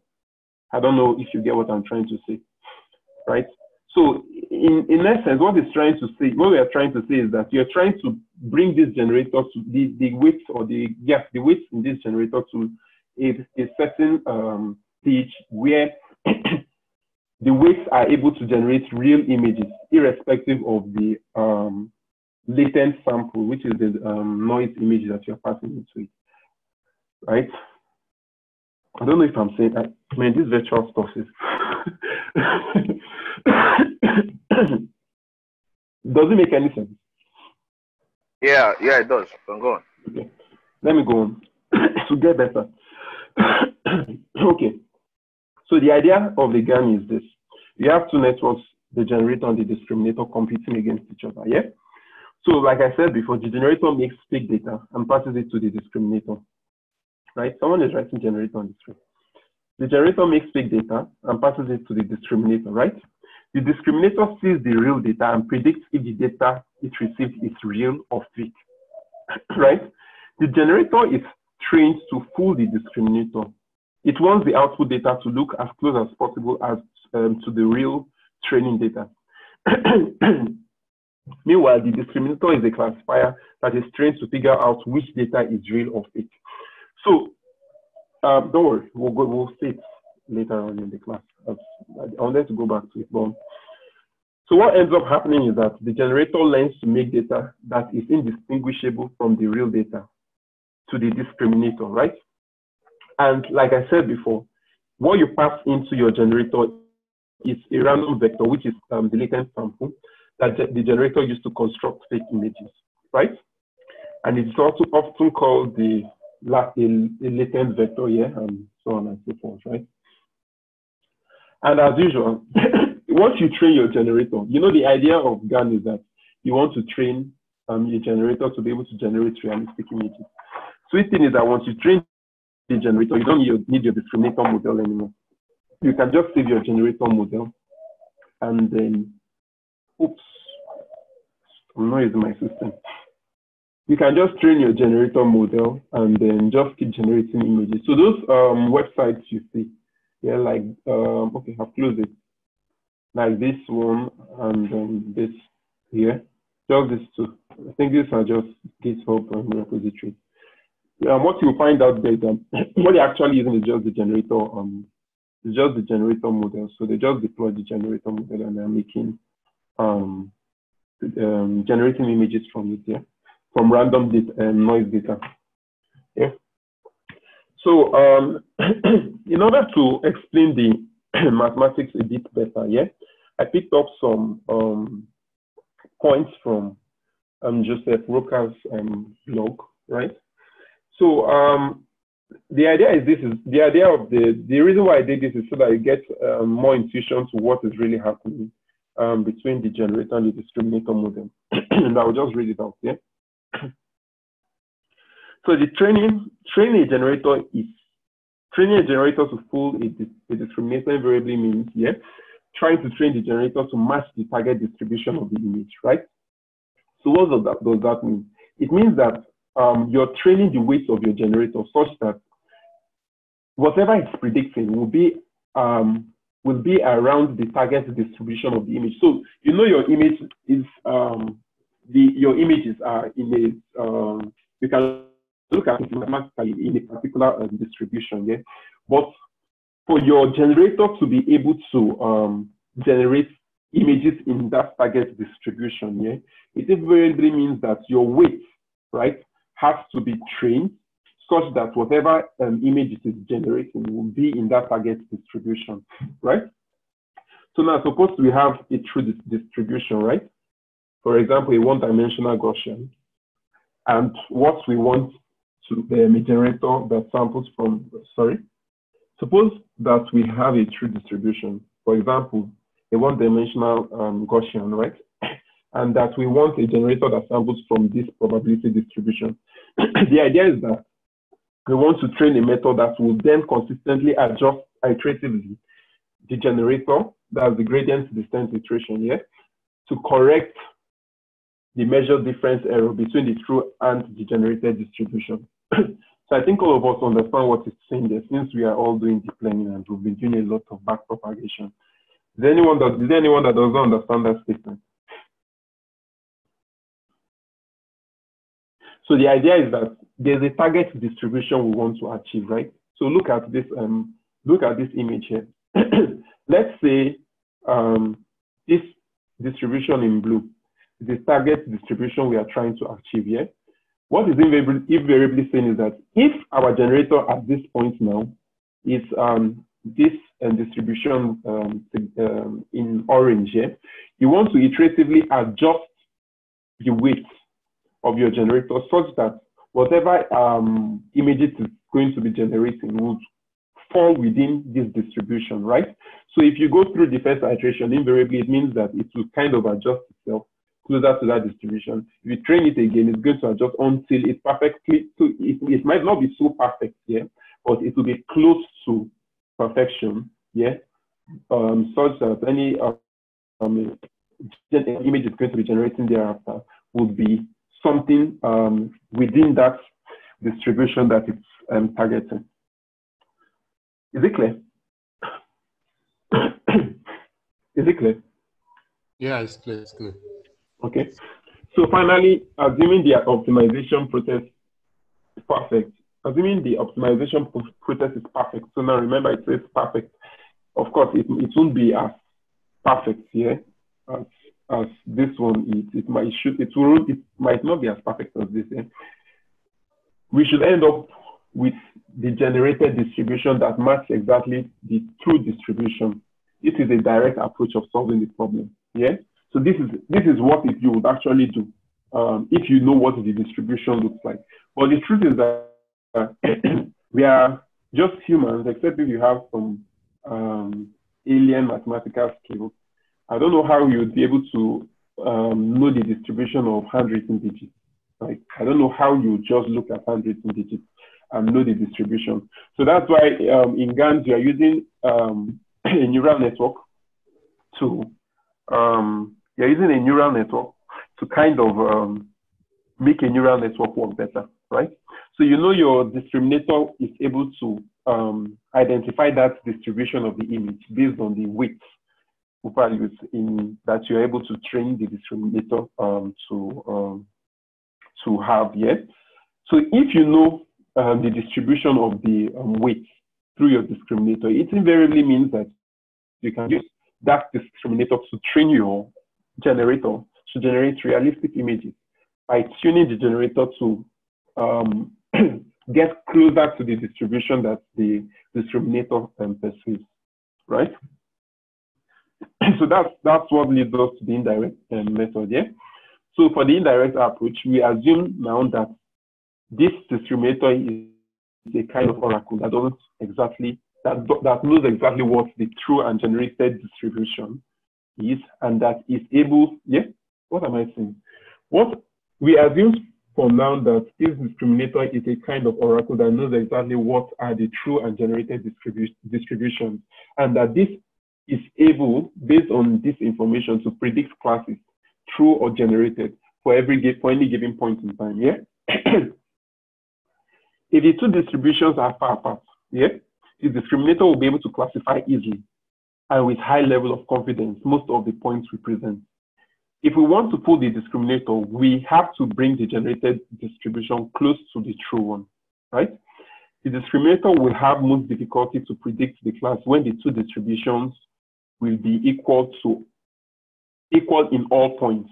in this case, for each point, there are equal chances of it being true or generated. And then the discriminator can do better by being true in one case out of the two average, right? do we understand this? So this is still pointing to what I was trying to explain here. Although the only difference now is that it's written in text. So, but do we understand what um, I've been saying so far? before I move on. Yeah? Don't worry, we'll soon start coding. No response. We understand. Okay. Yeah. Sorry? I said we get the idea. Okay. So now, um, let's kind of describe the architecture now, yeah? So the architecture of the of GAN is such that the generator is a neural network that models transform function, right? So transform function is that you are transforming um, an input latent vector into um, an image here. It takes a simple random variable and must and must return one string, a random a random variable that follows the target distribution, right? So meaning that what it's returning is what it should return is an image that um, is realistic, that is in the same distribution as the real image in your data set. Yeah. as it is very complicated and unknown, we decide to model a discriminator with another neural network, right? And this neural network models a discriminative function, right? That takes as input a point and returns the output of the probability of it being true. Once that is defined, the two networks will be trained jointly with opposing goals, right? As we will see as we go forward. Even though this might might be a bit not, it might not be uh, so clear now, but by the time we go into the it to be better. The goal of the generator is to fool the discriminator. So the generative neural network is trained to maximize the classification error, right? So meaning that it's maximizing the classification error. It's trying to, um, so now you know your discriminator is um, trying to predict, um, trying to differentiate real from fake.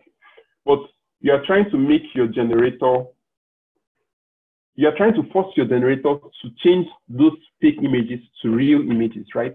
So meaning that if you are going to be taking those real images to your discriminator, the loss will be quite large because it's, it's if, if, if, you're, if, you if you already know what your real image is and your fake image is, it invariably means that you want the loss for your fake images to be high, while the loss for your real images to be very low right?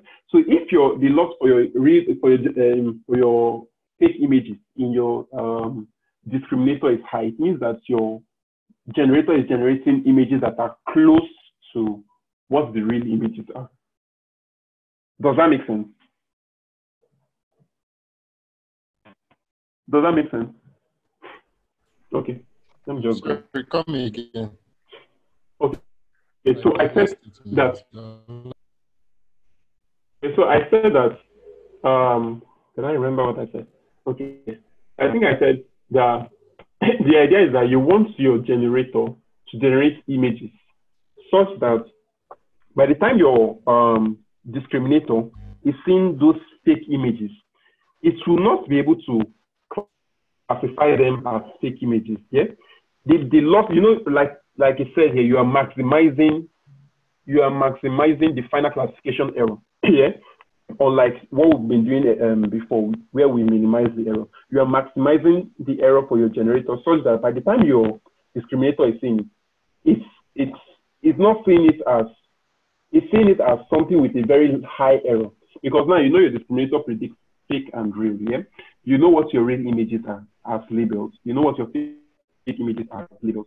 You don't want your discriminator to see fake images as fake images you want to maximize the error of your generator such that when you pass in a fake image to your, gen, your discriminator, your discriminator would see it as large error, yeah, and be, and be like, okay, it's, and at that point, you what you should then say is that okay, it's getting closer to um, what the real images are, right?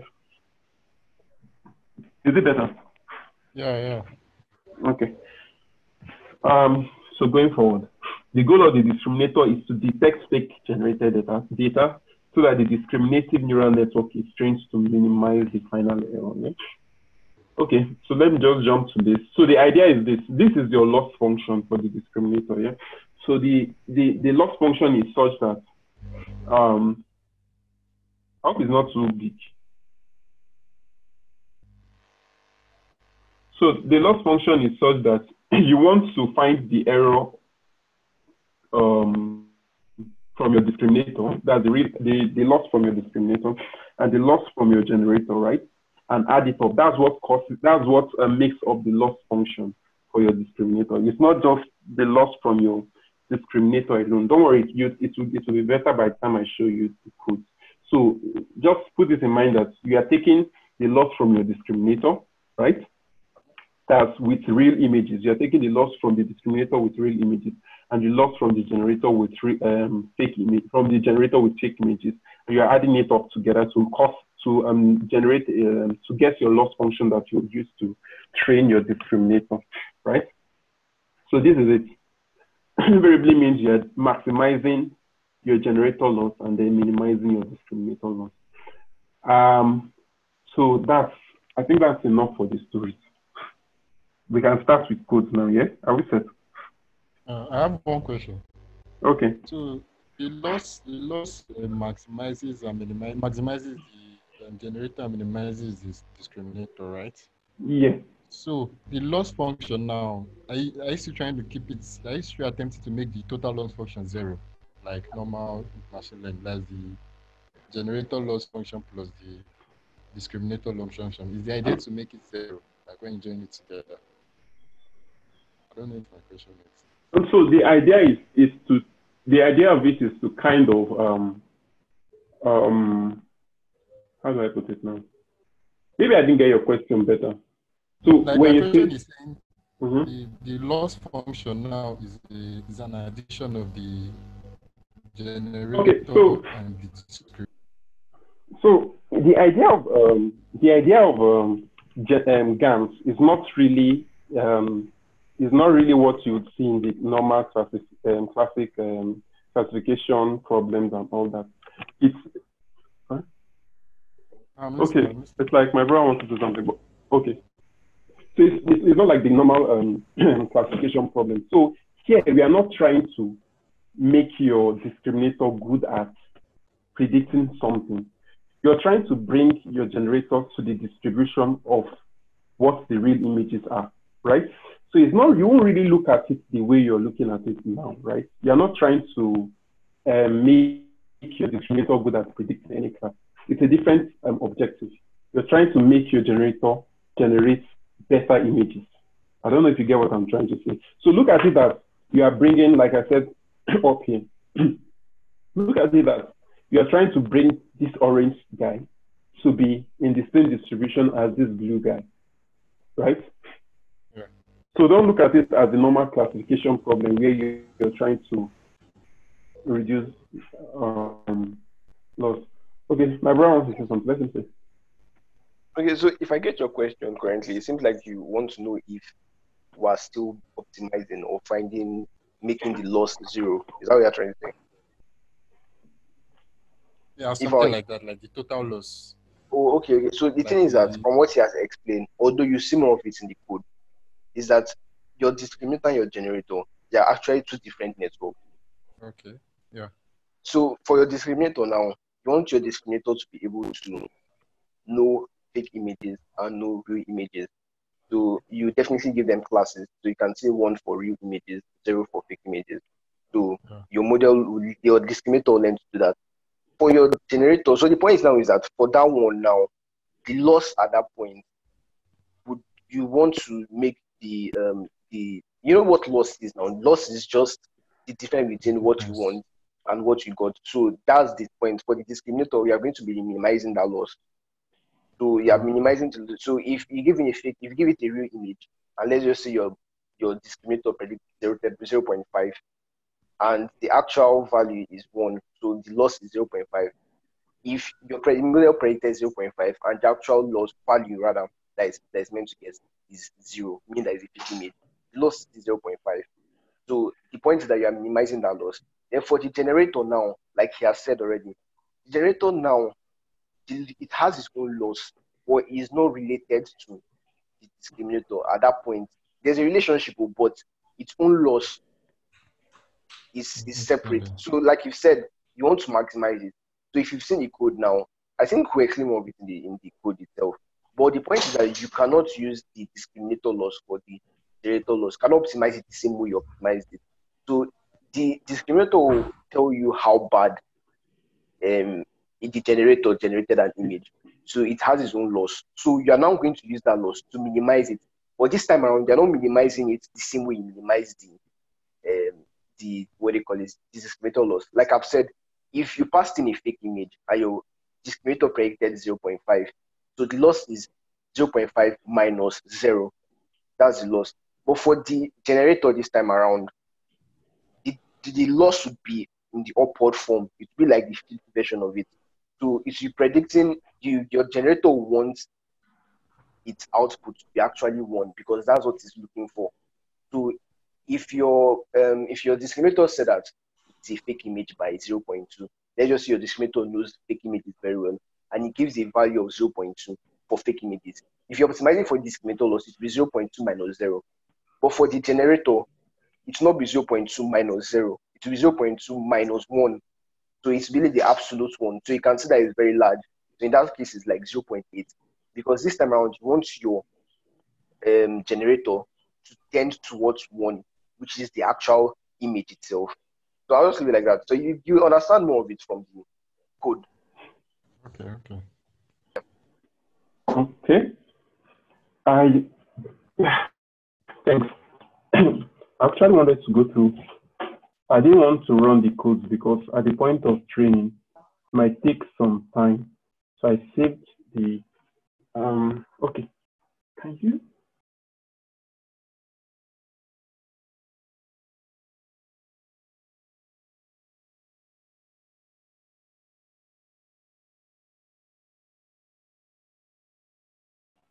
Okay. I was just um I was think, I'm thinking of uploading the model I trained. Yeah, so I will just see the result because we are going to go um through we start training here, it might be take some time. Okay, so sorry. Let me just um, upload the model. Yeah. That's fine. Please help me upload this stuff. I think I kept it here. So just check my files. Uh, so just connect and check my files. You see the name in the okay. Sorry. So um, let's start. Of course, we know about we know that we need to import all this here. And then, um,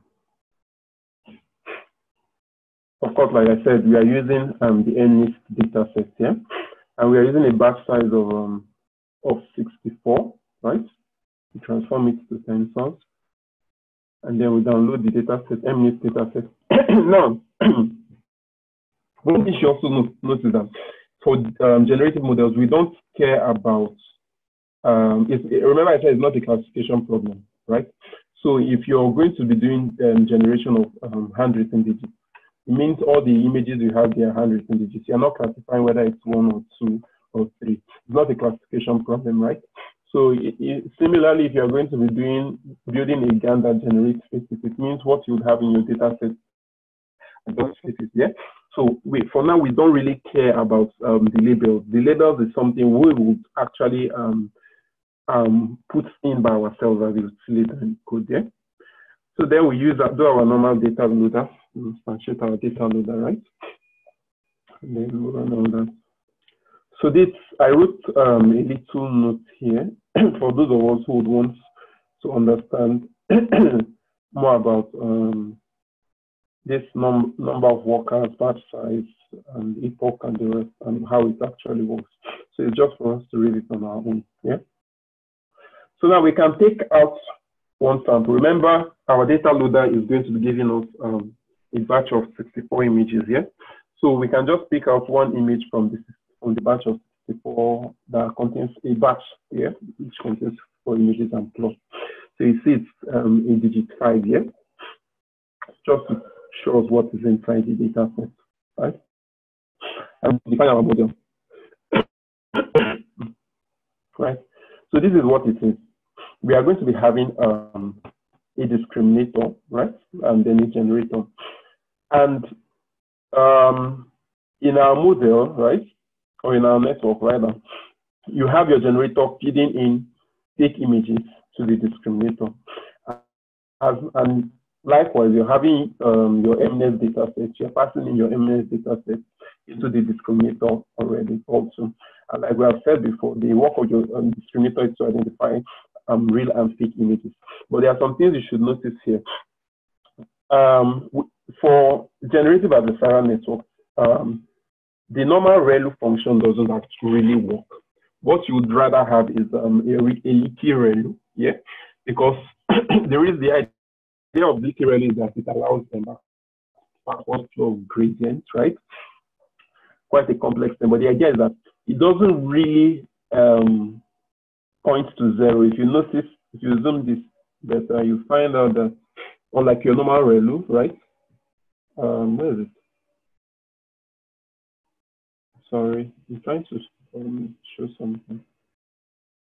Um, unlike your normal ReLU, this doesn't actually point to zero. it kind of allows um, for the backward flow of um, gradient, yeah? And then for your generator, what the researchers also found to work best is um, a TANH that TANH um, output kind of um, works best when you're um, dealing with um, um, gen generative adversarial network. So it's it's something that they found out during their research here. although I'm not sure there's any much mathematical explanation to this here. Oh, there should be though. Maybe I've not done my research well, right? So we are going to define the discriminator model, right? And then the generator model. And then we'll define the train process, how we want the generator and the discriminator to communicate, right? Um, if you want to read more about leaky ReLU activation functions, this is um, a link here, right?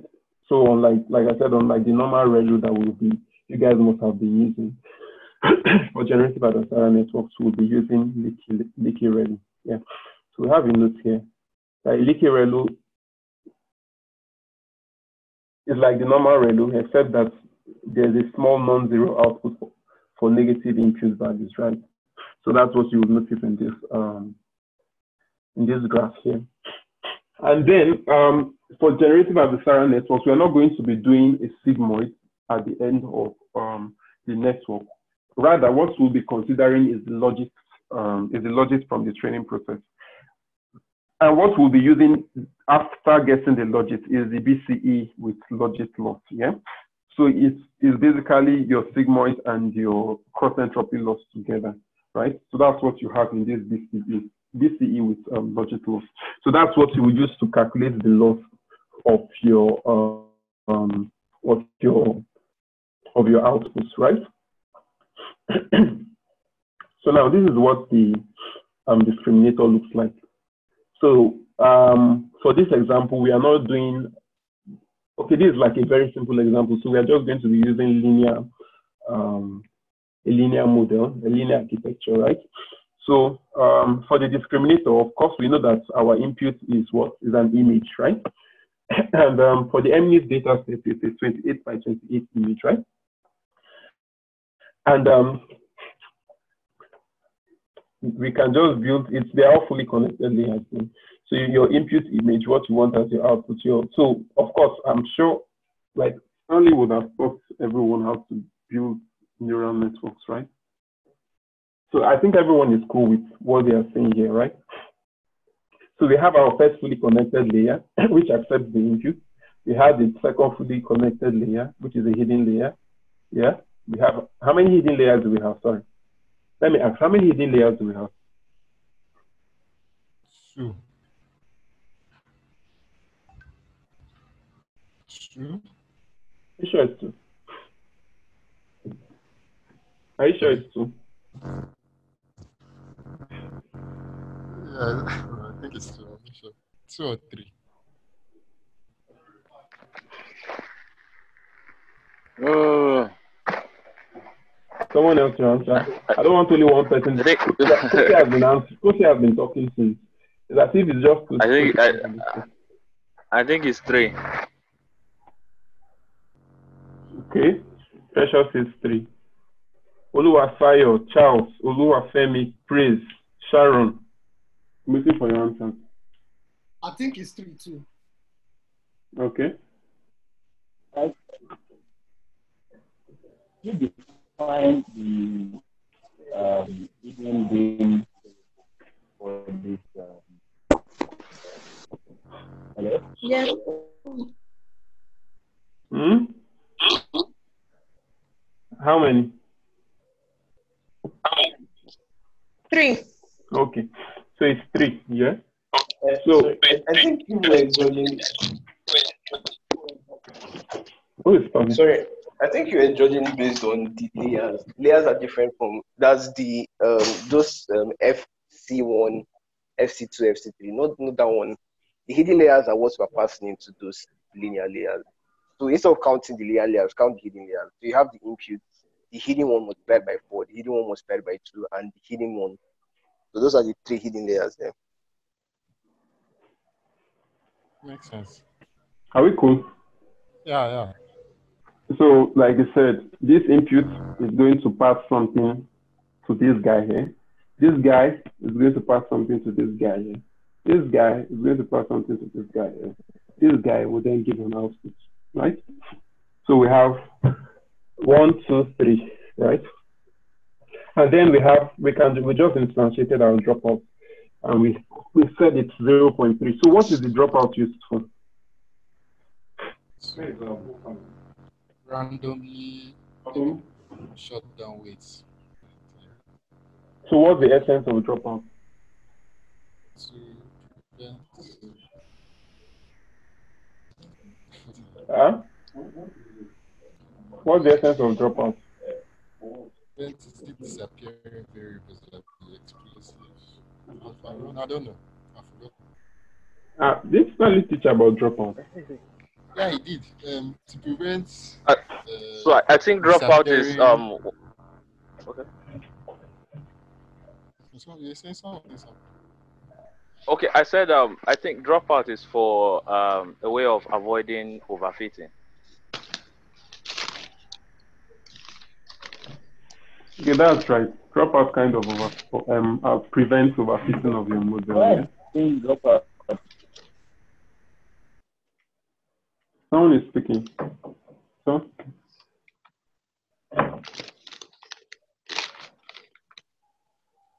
okay. So let's move on. so um, so we can go ahead to define the um, forward um, function. Yeah. So our forward function, as we have said, of course, you know you will have to flatten the image that you're receiving, right? Your forward function will consist of um, you passing your input data into the um, um, your fully connected layer one, right? And then you define that. So now remember I told you guys that the, the difference between the normal relu and leaky relu is that it is small um, negative slope, right? So here we are just defining um, what that negative slope should look like, right? So we are saying negative slope should be of 0.2, right? And then yeah, it's a leaky relu. The pass that through dropout, right?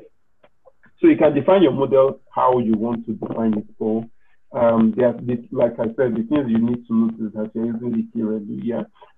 Um, so yeah, define your forward process and then your output. So notice here in your output, we are not doing anything sigmoid or any of such. We are considering the logit, right, in the output. Now, on the other hand, what we would have as a generator is kind of something, it's kind of the inverse of what you have in your discriminator. So the way I always see it here, if you go back to, I think the image is down.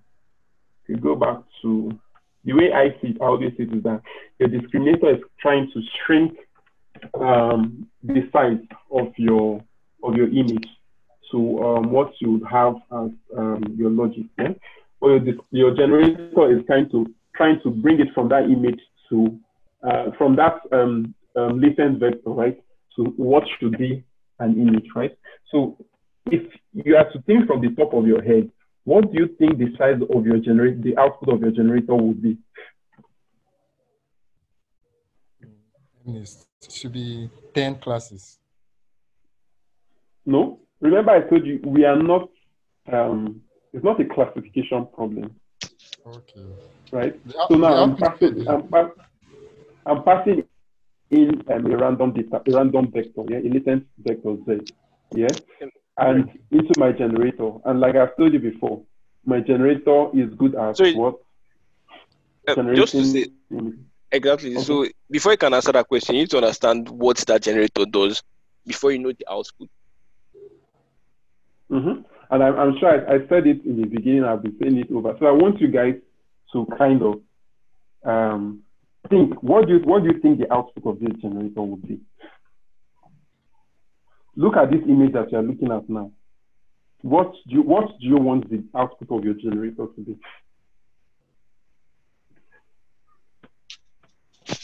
uh, a real image. That's it. So you want your, your generator to output an image here. So now if I'm saying that, if I'm saying that, um, if I'm saying, okay, for this very simple case here, it might not be the case for more complex um, algorithms like StyleGAN and the rest. If I'm saying that my input image is a 28 by 28 image here, what do you think would be the size of the output image of the generator?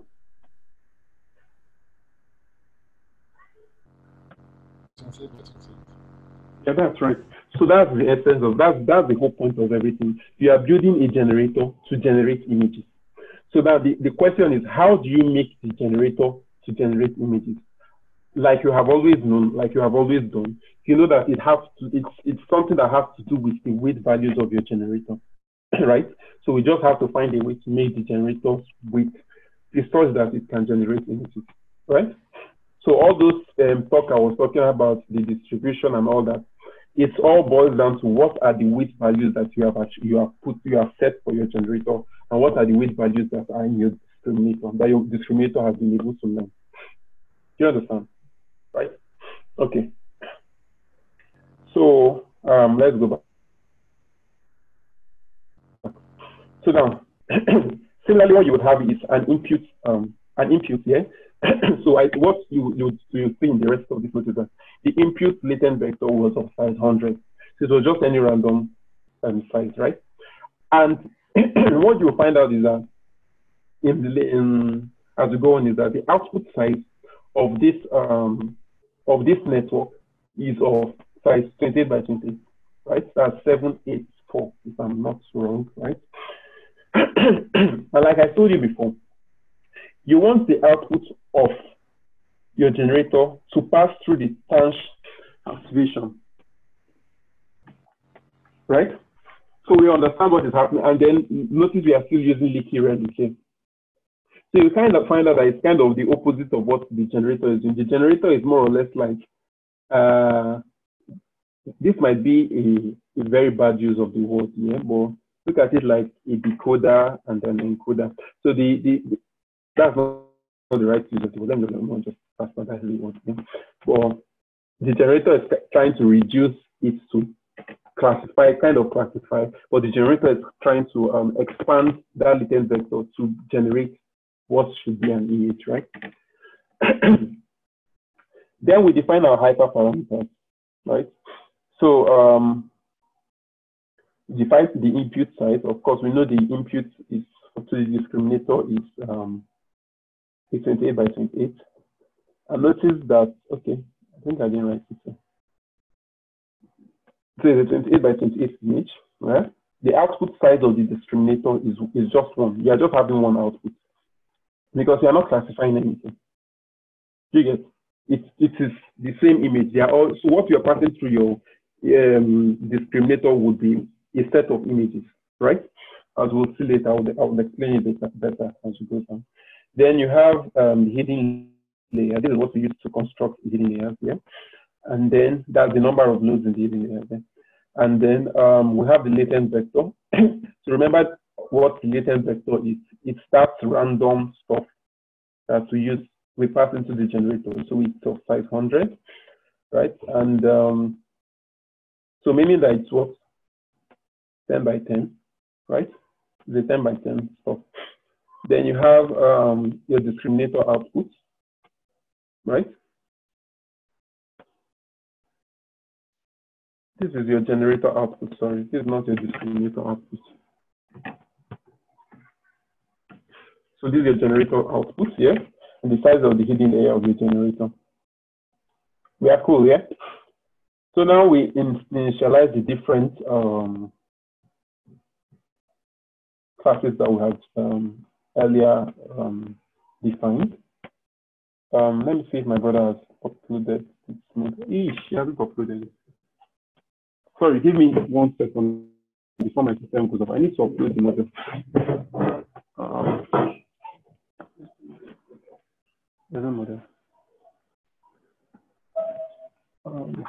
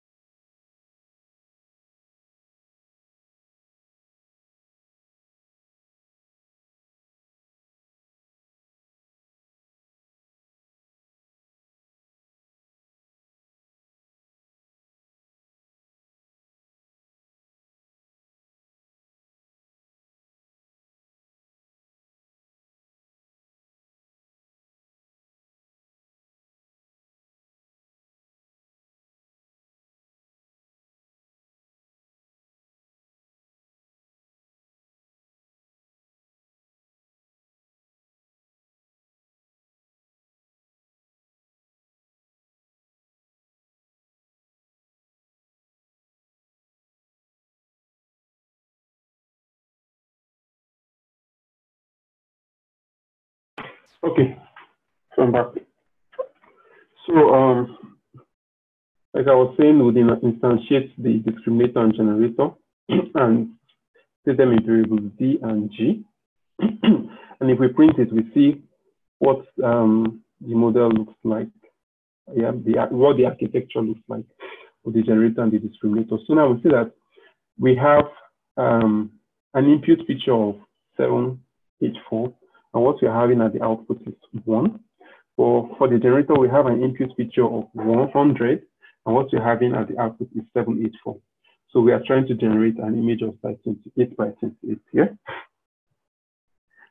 so I, I, I kind of moved this to GP because I wanted it to print faster, right? So this is, if you want to move your um, your models, your model architecture, just use um, GP. Yeah. Okay. Okay.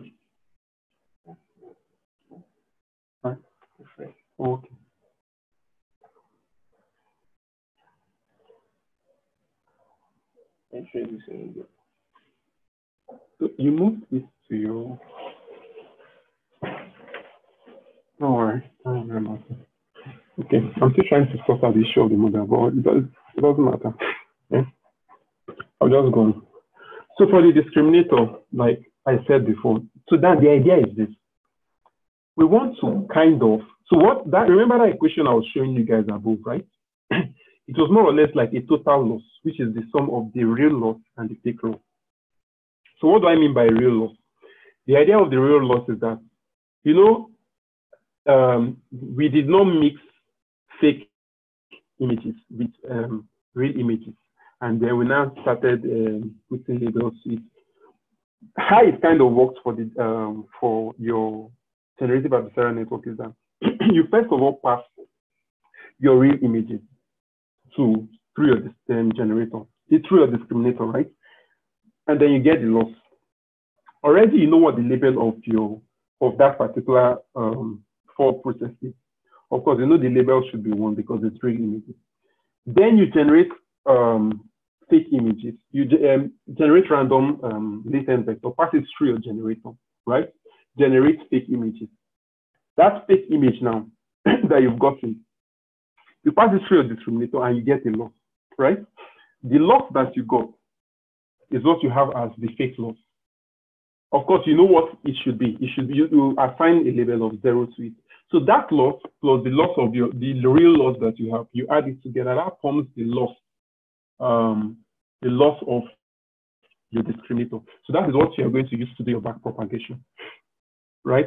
So doing this iteratively kind of tunes your discriminator better to um, to kind of um, how do I put it? Make your generator learn to um, generate better images. Let's just go on. I'll still explain it better. So remember that we want the discriminator to output one for real im images and zero for fake images. So we need to set up the loss. Okay. So already I said that. And then remember, um, I said that we are going to be using BCE with logit loss. So like I showed you in the um, architectural book, we are not doing any sigmoid at the output. We are taking the logit loss as it is. That's what we are going to use for the real loss, to calculate the real loss. Yeah. Um, then there's something. Um, the um, the norm, so the normalized version of your um, image data set is actually um, within zero and one. but for the researchers who did, um, for the researchers who um, worked on GANs, what they noticed that is that GANs work better when you have your images normalized between minus one and one. Of course, I would assume everyone knows what normalization is. Yeah? So GANs kind of work better when your normalization is between zero and one. So what you would you would find out when we start training is that we converted the input images first. We converted them to um, be within the range of um, the, the normalization to be within the range of minus um, one and one. Yeah, and that's the same thing we used for um, the generator images. Yeah. so the output of our generator images would be within the range minus zero and one, right? So I would have to read this.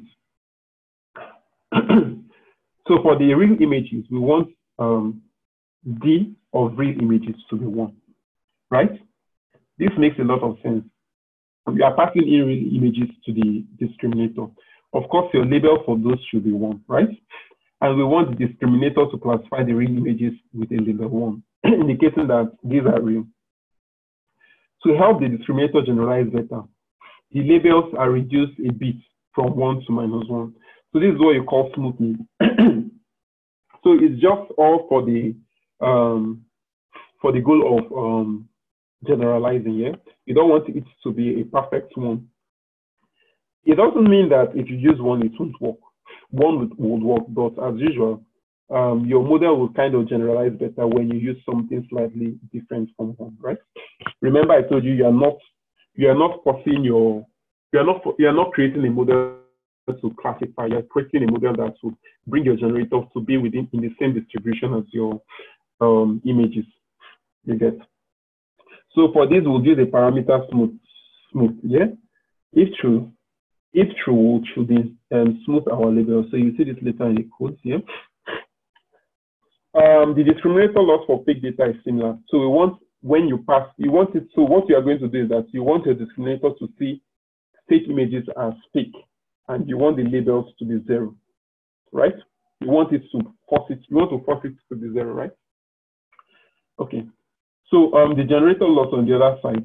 So the generator loss, loss will look similar to similar only with flip labels. So now, remember I told you that the generator is trying to um, generate images such that um, the discriminator will think is a real image, right? And the discriminator, on the other hand, is trying to differentiate between real images and fake images when it sees them. Now, remember that your loss here is saying if you pass a fake label, fake image to this discriminator, the label is zero. So anything that is um, trying to make it one, make the loss large, that it is zero. But on the other hand, see what your um, generator is trying to do. The generator is saying, if you pass a fake image to the discriminator, I want that fake image to be identified as one. Does it make sense? Yeah. Okay. So in this case, the label will be flipped, right? To represent that the generator is trying to put the discriminator into thinking that the images generated are the images generated are fake, are real rather. So I'm trying to um, put the discriminator to think that the fake um, images are real, right? So this is what um, the codes to calculate our loss look like. So now I told you it is not classification, right? We know what our images are. So what you have is um, when you pass in the output of your discriminator, right? of course, the output of your discriminator would be um, will have the same size as your batch size, right? Because you know you're passing in 64 Im a batch of 64 images into your to your um, your um, model, yeah, and meaning that the output will also be 64, right?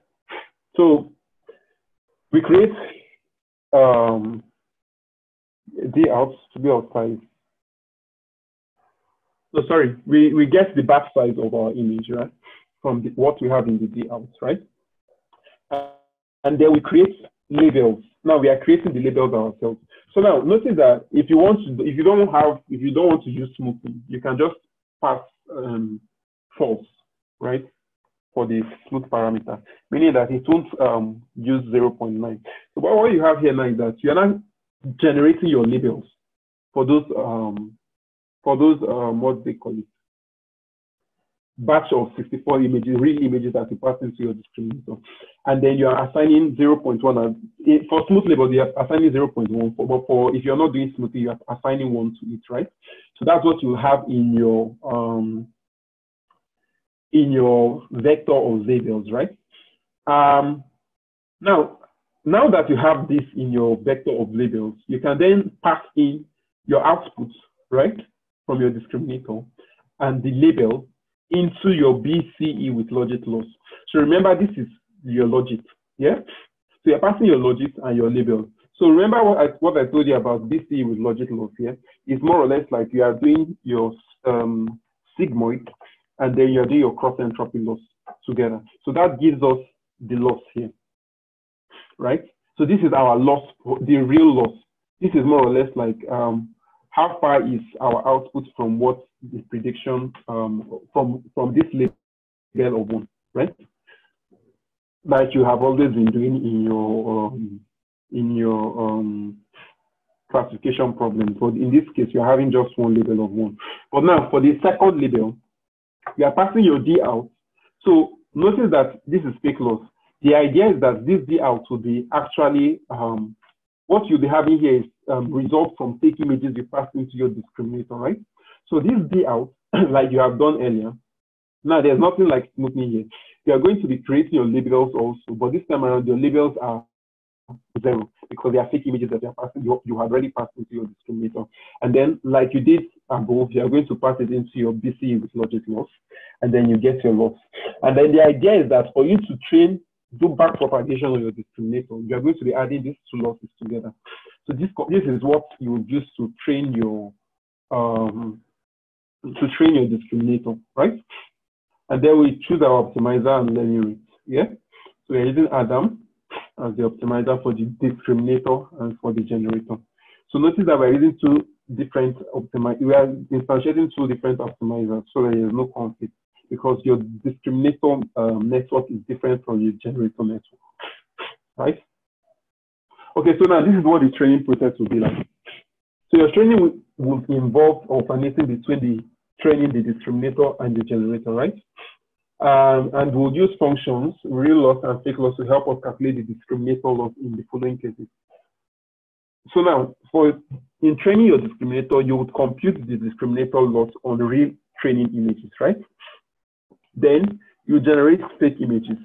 You compute, compute also the discriminator loss on the fake generated images. Then you add up the real and the fake images and perform backfor plus optimization to the, um, update the discriminators weight. So this is what happens for the discriminator. Just after doing that, yeah, notice that your discriminator would have um, learned some things from this text it has done, right? Then you now use your generator to generate fake images, right? Then you compute the discriminator loss on the fake images using flipped labels. Yeah. When you compute the discriminator loss, this um, loss is now what you use to perform back propagation on your generator with. So one way or the other, whatever the discriminator has learned from this step above is one way or the other going to be translated into what is going to be here, right? So now your discriminator is getting good at, um, as you're training, your discriminator is getting good at differentiating between real images and fake images right here, right? So now at this point, your discriminator, your, you pass your, um, you pass fake images into your discriminator, meaning that your discriminator of course know that this image is fake. Now, the loss you get from this, you compute, no, the loss you get from this would give, would give your generator a sense of how far away it is from making realistic images. Do you get? Are we clear? I need responses.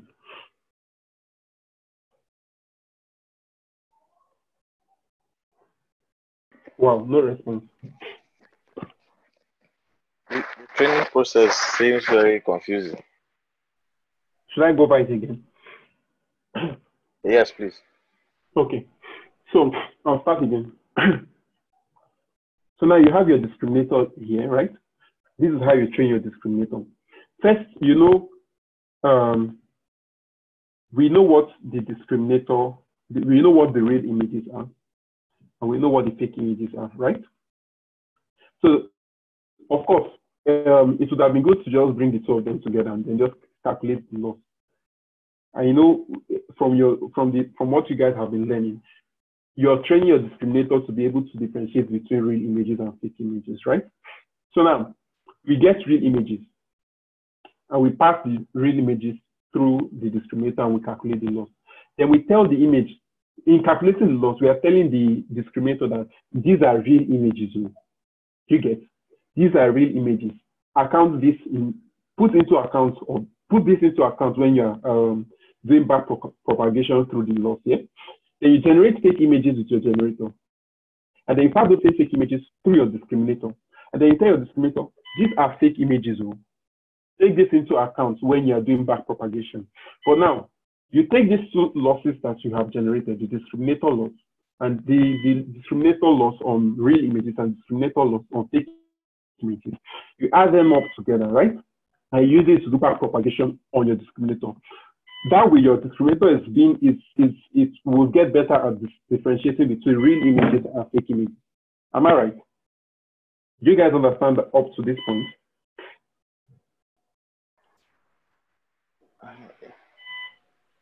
Yeah, Clear, yeah? yeah, I I need, I need two people to say it clear.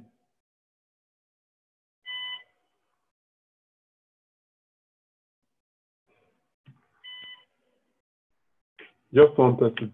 I understand, I understand. Okay. Okay. So now, on the other side, we have a generator network, right? Which is just there to generate fake images. And remember that the idea of the generator is that we want the generator to be good at generating images that look like the real image, yeah?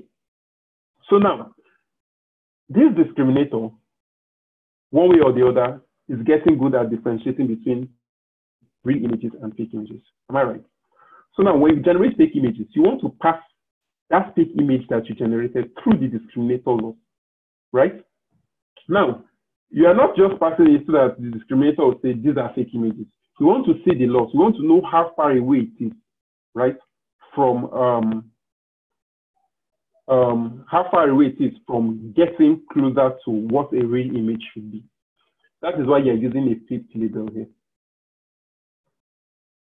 Do we understand? So now, if you are, now remember I said we are maximizing, we are not minimizing now. To minimize the loss, you are going to be using the actual label of label of um, zero. But now we are using flipped labels of one. We want to maximize the error. Yeah. We want to maximize the classification error. That's why we are using fixed labels. So we are not saying this discriminator is good at generating um, differentiating between um, real images and fake images. Let's see how well it um, um, differentiates between these fake images the generator has generated. So you pass the generated images from your generator into the discriminator, and then it gives you a loss. So, but now your loss is not based on zero. You're seeing how far it is from being one, not how far it is from being zero. So that's where you're seeing the idea of fixed labels. You want to know how far it is from being one, how far it is from being a true image. Do you get that now? so now when you have that loss, yeah, why do I on clicking this? Thing? So when you have that loss, you can then use that loss to do a back propagation on your generator's width to improve your generator in the next iteration. Is it better now? Yeah, yeah, it's better. Okay, makes sense. So I think it's with that. If you're able to understand what I said here, then you understand the whole, the whole thing. Basically, this is this is what I really wanted everyone to understand. So one way or the other, you see, I'm sure that picture of bringing your um, bringing your uh, generator to be in the same distribution of your um, the same distribution of your image. This is where it plays. It, I think it should you should you should get more light in. The intuition should um, be clearer at this point. Yeah. Um, okay. So now in training, this is what we just do. We want um, to use um, an epoch number of 100. Yeah. We also want to see um, the images that are generated. So we want to have an idea of the sample of what the images look like during the training process, and also the loss of the generated image and the of the loss of the generator and the discriminator and the different stages. Yeah. Um, so now this is a sample size of 16. Yeah. So what this is just trying to do is, you know, we are we um we are going to use this later on in the um um in the um, code. So the this is just a fixed. This is just a fixed um, a fixed um, latent vector. Yeah. So the idea is this: at this stage, you want to be making um, generating images from this fixed um, latent vector, so that you just keep track of what the images turn out to be after after as the as the generator gets better, right? So you are going to be saving this fixed um, latent vector in in your samples, yeah. You're going to be saving it in your samples, right? So that's just for visualization purpose, right? So now we initialize the um, we set the discriminator and um, generator to training mode, right? And then we define our iterative process. So we are saying for epoch in range, the number of epochs we set, yeah? We want to get some information from the tree label. Of course, we don't have labels, yeah? So we are picking the batch number and the real image, yeah? So the batch size is, you can get the batch size from the number of image, and in our case, it's 64 because we set a batch size of 64 when defining the train loader, yeah? And then remember I told you that, um, of course, the image is coming out from here, from the train loader, train loaders have been normalized to be within the range one to zero, right? So, but um, like I said before, um, GANs kind of work better when your normalization is between minus one and one, right?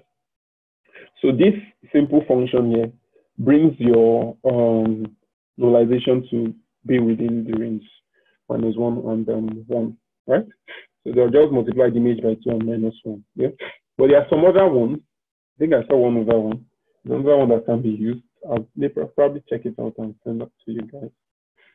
Then our optimizer set it to zero grad, yeah? And then I want to train on GPU. So now this is where all the things we've been saying um, above comes into play. So now we pass our real images. Remember what is coming here is what? Real images. We have not said anything about fake images, yeah? So we pass our real images into the discriminator, right? And then we get an output, which is what I'm sure I said it. So someone should tell me what this output is. Oops. Oops. Oops. Oops. oops. Okay, so someone should tell me what this output is. What is is on what is in what form? Is it in probability form? What what form is it? Probability form. Between zero and one. Are you sure it's in probability form? What makes what makes the output of your network be in probability form? If, if there's no sigmoid, if there's no activation function, But you know, remember I told you that um, we are not passing it through a sigmoid function. We're not passing the output through a sigmoid function. So it's your logit. It's just the raw output from your network. It's your logit. So that's why we are passing the logit into your BCE with logit here. So it's going to do your sigmoid and then your cross entropy loss. Right? So now this is your logit. And you pass your logit into your real loss function that we have defined before. And we set smooth into to true. So we define this above, right? And then, of course, remember what we said. This is what it looks like. For those of us who have forgotten, yeah. So we know that the label is one, so we force the labels to be one. But now we set smoothing into true to be true. So we, it's now it's not one, it's 0.9. So it's just to smoothing out the loss. yeah. So we calculate the loss. How far is it from being one? Yeah. And then I don't know if you get what I'm trying to say. So we calculate the loss at this point. Yeah. So this is our real loss, discriminator real loss.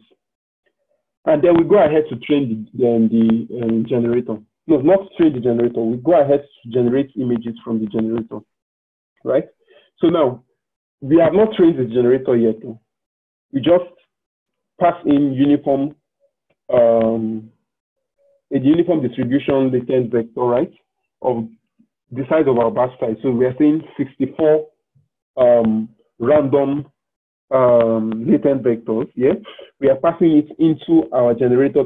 So now we, we are expect what we want, we expect is that your generator should generate real images, yeah, something close to real images, or would would would would, would um, name them as fake images for now, yeah. So now we get these fake images, yeah, pass it again into our discriminator, right? The output again is going to be a logit, right? So now we calculate the loss of this fake images, and this is the deepfake loss, and then we add it up. So this is the loss that we would use to do backward propagation on our discriminator uh, model.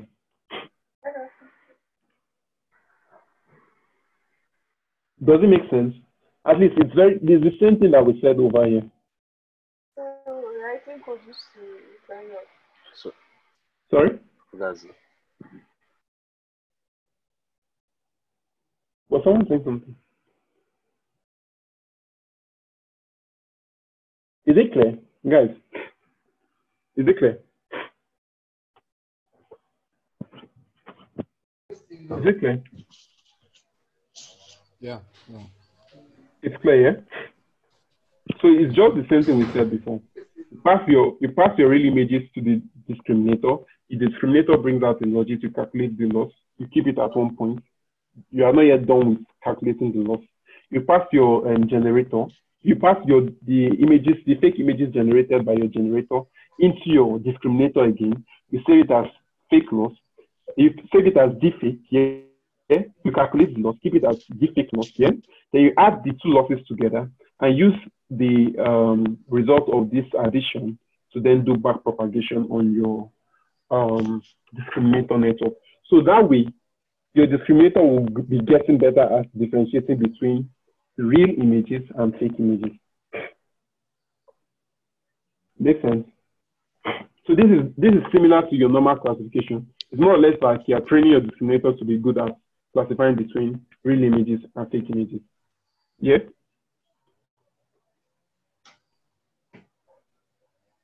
Cool.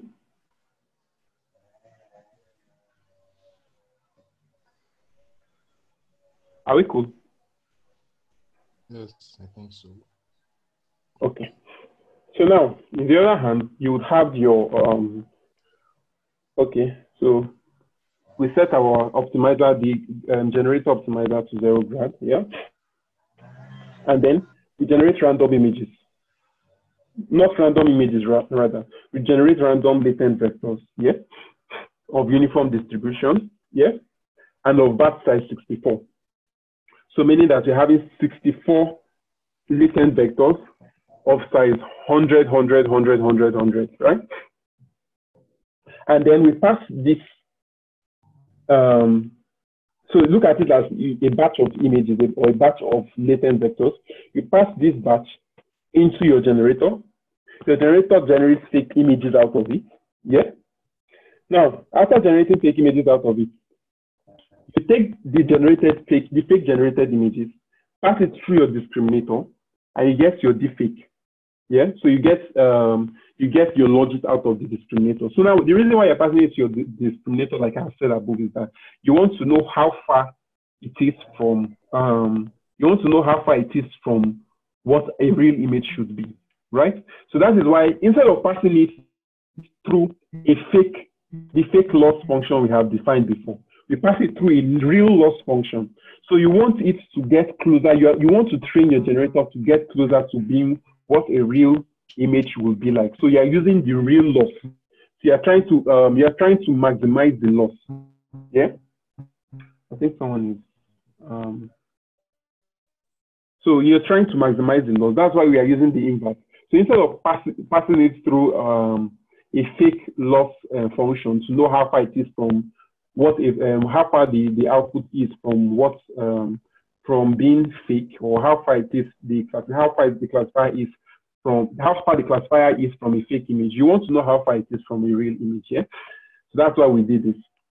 And the loss you have you get out of this is what you use to do backward backward propagation on your generator, right? So now you keep doing this iteratively for the number of epochs that you have, right? And as you notice, what as you will notice or as you would have already imagined, your generator gets tries to get better at differentiating between real images and fake images. Meanwhile, your generator, that's your discriminator rather, your discriminator gets and tries to get better at this, um, differentiating between real images and fake images. Or on the other hand, your generator gets better at generating fake um, generating fake images that look like real images.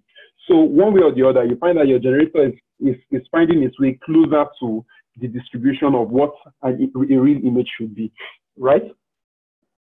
Does it make sense? Yeah, it does. Okay.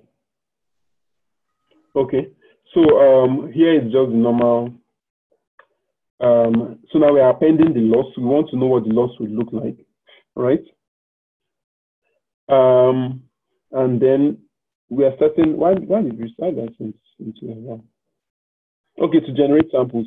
So now this is just to generate samples that would append to the, um, so remember I told you that we, we created this fixed Z. So we just want to generate samples after each um, epoch. So we want to, this generated, this fixed generated samples, we want to, um, after each epoch, want to know how, what the image looks like after each epoch. So they pass the, the fixed Z, which is latent vector, through the generator that has been trained for that period. We get a sample Z and we append it to this, this list of samples there. So um, after this um, um, code block, you would see what the samples look like um, as the training process was going on after each epoch, yeah? And then we use pickle to save the training samples, yeah? That's the samples there. So this is the trading process and the loss as it goes up and down. So the loss is not, so you notice here that the loss is not really something you're trying to, you're trying to minimize um, one, the other one is trying to maximize itself. So you find out that they are both trying to, they, they are trying to strike a balance between themselves as the training goes on. Yeah. So it's not where you are trying to reduce the loss of the, where your whole um, mindset is this um, network must have zero loss. That's not the point now. You're trying to get to that point where the generator is good enough to generate realistic images. Yeah. So um, this is what the loss, a plot of the loss looks like. So you find that initially the discriminator is um, the orange color. The, the, no, the discriminator is the blue color. The generator is the orange color. You notice that initially the loss of the generator was very high. Yeah, but as the training went continued, you find that the generator somehow was kind of um, the distribution of the loss, yeah, or the the the the values of the loss was kind of being in the same. Um, um, should I put in the same? What's the what's this English? So it was kind of playing out the same way the discriminator was, right? So at a point where it is played almost evenly as this discriminator, probably if I trained it longer, it might kind of look similar. The distribution might kind of look similar. Yeah? At that point, you see your generator is kind of getting closer to what the distribution of the discriminator is. Yeah, the images are. Okay. so now I'm picking out random samples from this, um, picking out random images from the sample we have, we've already um, saved. This is what you would have. So you'd see that this is what your discriminator, your generator generated, right? So looking at it after each um, epoch, you find out that your generator started out with trash trash images. That's the truth. These are trash images. Yeah. Started out with trash images. Then as it continued, it got better. Yeah. Still, you can't really make any sense out, out of these images that are here. As it continued, it got better, better. And see, at this point, you, at least you can notice what this was. You can actually um, place a number to these images you're seeing here. so from the top of my head, this looks like a six. This looks like one. This looks like five. This looks like nine. This looks like two. This is one, one, nine, seven, seven, nine. I don't know if you get what I'm trying to say, yeah? And um, you can actually just save your generator model and use it to generate images later. So I saved the generator model here, but unfortunately it's on my system, not on this particular system I'm using now. So I just saved the model, generated the model again, and then you can just keep passing in latent vectors of the size that you have defined earlier. You can't just pass any size. Remember, it was a 10 by 10, which is 100 latent vector that you pass in. You can just keep passing um, a latent vector into your generator model, just like I did here. Yeah, pass a latent vector. This is um, how we generated it. Pass it into this. Yeah, and it's the output is an image, yeah? And then we can just plot this image, right? So um, I didn't, like I said, I don't have the model here. I'll just um, loaded the model and then just keep um, refreshing or re, yeah, refreshing this um, code cell, and then you see that it generates random images at each refresh. Yeah, just like you'd see in the this this person does not exist website, right? So, you would notice that this is not. You won't say this is um, so good for its performance. Yeah, it's it's partly dependent on the kind of data set we're using. Yeah, but still it can be better. Um, some questions you might have in your mind is that um, is it possible for us to use um, convolutional neural networks um, if you're when, when dealing with images. Of course, you can use convolutional neural networks. And I think that's what everyone should try out. Yeah. I might not have so much power to give you guys assignments, but I think I can. I should just say that um, you guys should actually go through this um, notebook based on what I've explained. I'm sure you should be able to understand every step in it. Then I want you. I would want you guys to try out. Um, um, it's it's very similar to what you have here to start with. Yeah, I would want you guys to try out using convolutional neural networks instead of um, instead of using your normal fully connected layers. Yeah. So what that would entail is that when you're building your model, you won't have um, you won't have linear, linear, linear here. You'd have your curve 2D. Yeah. Um, but for the discriminator, you'll be doing the transpose of your curve 2D. So there's a function do the transpose you know, in PyTorch, and then just try it out and see how how how it um how your output comes out to be. It will definitely be better. Yeah. So are there any questions before I I call back your instructor? Any questions? Man, taking time. Thanks. please, if you have questions, don't think, don't, just, just ask questions.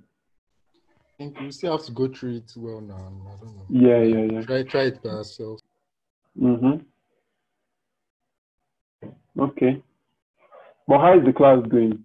I hope you guys are learning a lot because um, I've been going, I've been seeing the topics, and I know it's yeah, it might look a bit um, abstract initially, but if you look at it in depth, it's actually very interesting. The, con- the intuition behind it is very, very interesting. And once you know, know the intuition, the only thing left is just how to play around with the codes, yeah, and just build more intuition, right? It's it's a hard start, I know, but later on you find out that anything that comes after this will be quite easy, yeah. We hope so. Don't worry, it'll be easy. It'll easy, trust me. Trust me. I pray so. and don't don't be discouraged, please. Don't be discouraged. Uh, there's something I always say for those who I have taught before. It's it's all right to if if you if you go through something today, something as abstract as deep learning or even machine learning, and then you you kind of understand it today, and then you notice that tomorrow you've forgotten everything you, you learned yesterday, then it means that you're a normal person. Because it, it also happens to me, yeah? So that doesn't mean that you should give hope, lose hope, yeah? It happens to everyone. All it just means is that means is that you should um, just revise it. If you revise it, you find out that you understand it better than even what you thought you understood yesterday.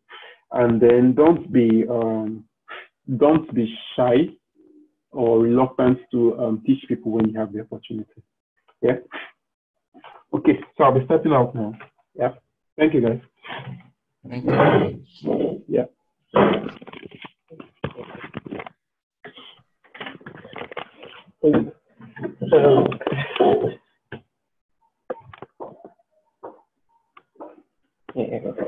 Okay, so um, see, it was it was a very long course, but there's one thing I was very certain of is that I don't know why we're shy, but I know that many of us have issues, especially with this particular one GANs.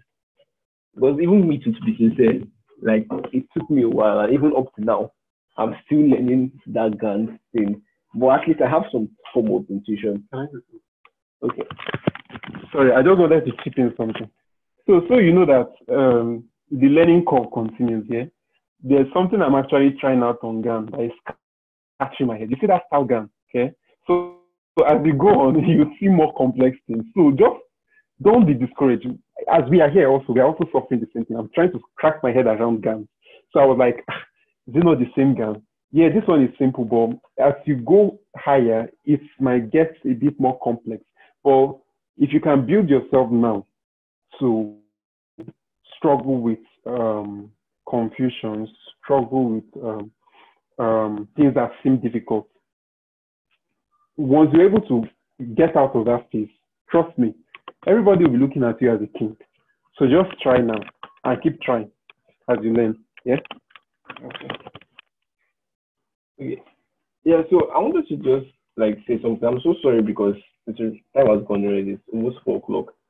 So um, just confirm, can you guys hear me? Yeah, we can.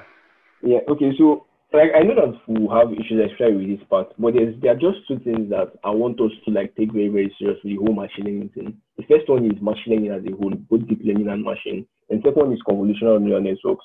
So like understanding each of those layers helps because now you've seen that first of all for that style transfer that we're manipulating those layers. So I think if you go back and then go through that one, you can easily get what's happening with the convolutional layers and the rest.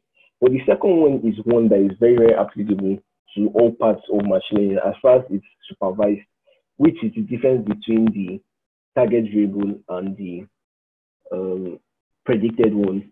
So, sorry, let me just put this in. So, I don't know if you understand this this thing here. I mentioned it where we're still able to see when you have something like this. So, this is very, very, very important in the whole machine learning world.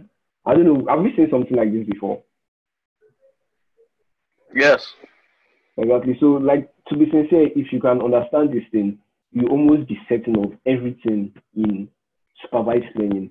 So the point now is that now while you are training for everything you do, you always have to compute the difference between your target and your actual value. So I can just call actual A. So target is C and your actual. So you just have to find the difference between two of them. So this difference can be different ways. It can be squared difference. It could be mean squared difference. It could be that cross entropy because cross entropy is another one. So there are different ways to which you can define this. And the main thing is that that will give you your G. So the point now is that why this is very important is because when you complete this difference, eh, it tells you how far your mood, your your um, target is from being the actual thing you want to predict. So, for instance, you start the random thing now. That's the point of this bell-shaped thing. If you are currently at somewhere here, I'll just put this as x.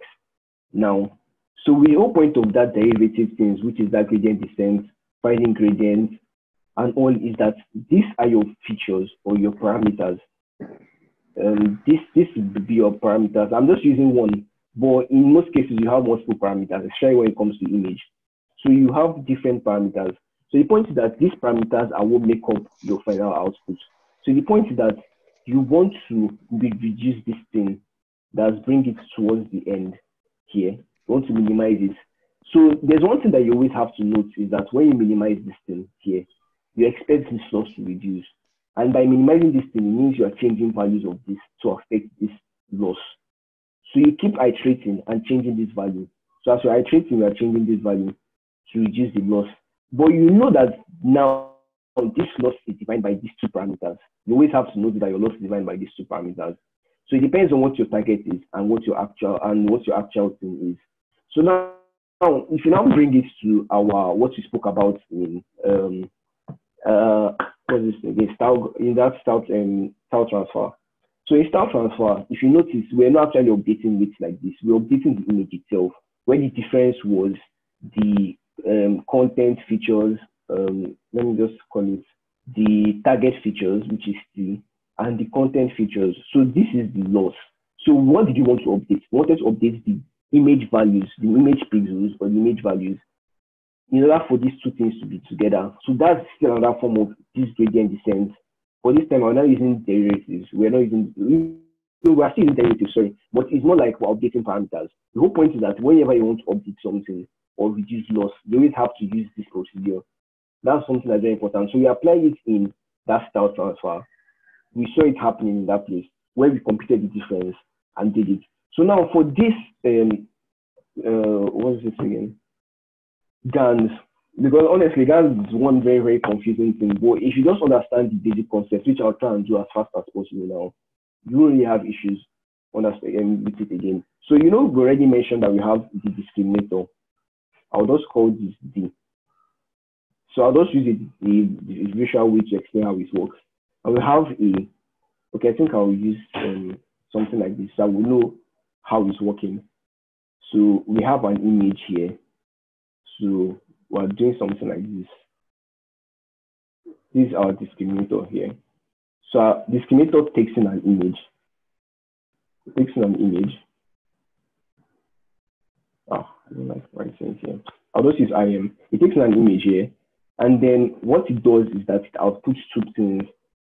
So now, you know, if you look at it now, in this style transfer and this one, we didn't just do it the normal way we're doing it. This one, we computed losses for the two different classes. You know, normally in PyTorch, when we started, we're computing the losses together because we already had a data set and we had each of the labels. So you can do it that way. So whenever you find the total loss, using that way, where you have both the labels and the, um, but when you have both labels on the same data set, you can do it that way. That one already sums everything up. But in this case, whenever you're computing loss, whenever you're training, you pass in your zeros class inside this estimator and tell that this is zero. You train it, you pass in your one class and tell that this is one and train it. So the point is that whenever you train this discriminator, you expect it to take in an input image. So at this point, it takes in an input image here. So this input image, when it takes it, it then classify it as either an original image, which is a real image, or a fake image. So the point is that when you start, you have your um, you have your your generator here. So your generator's job now is to generate images. So your generator, like you said, it starts with a just a latent vector.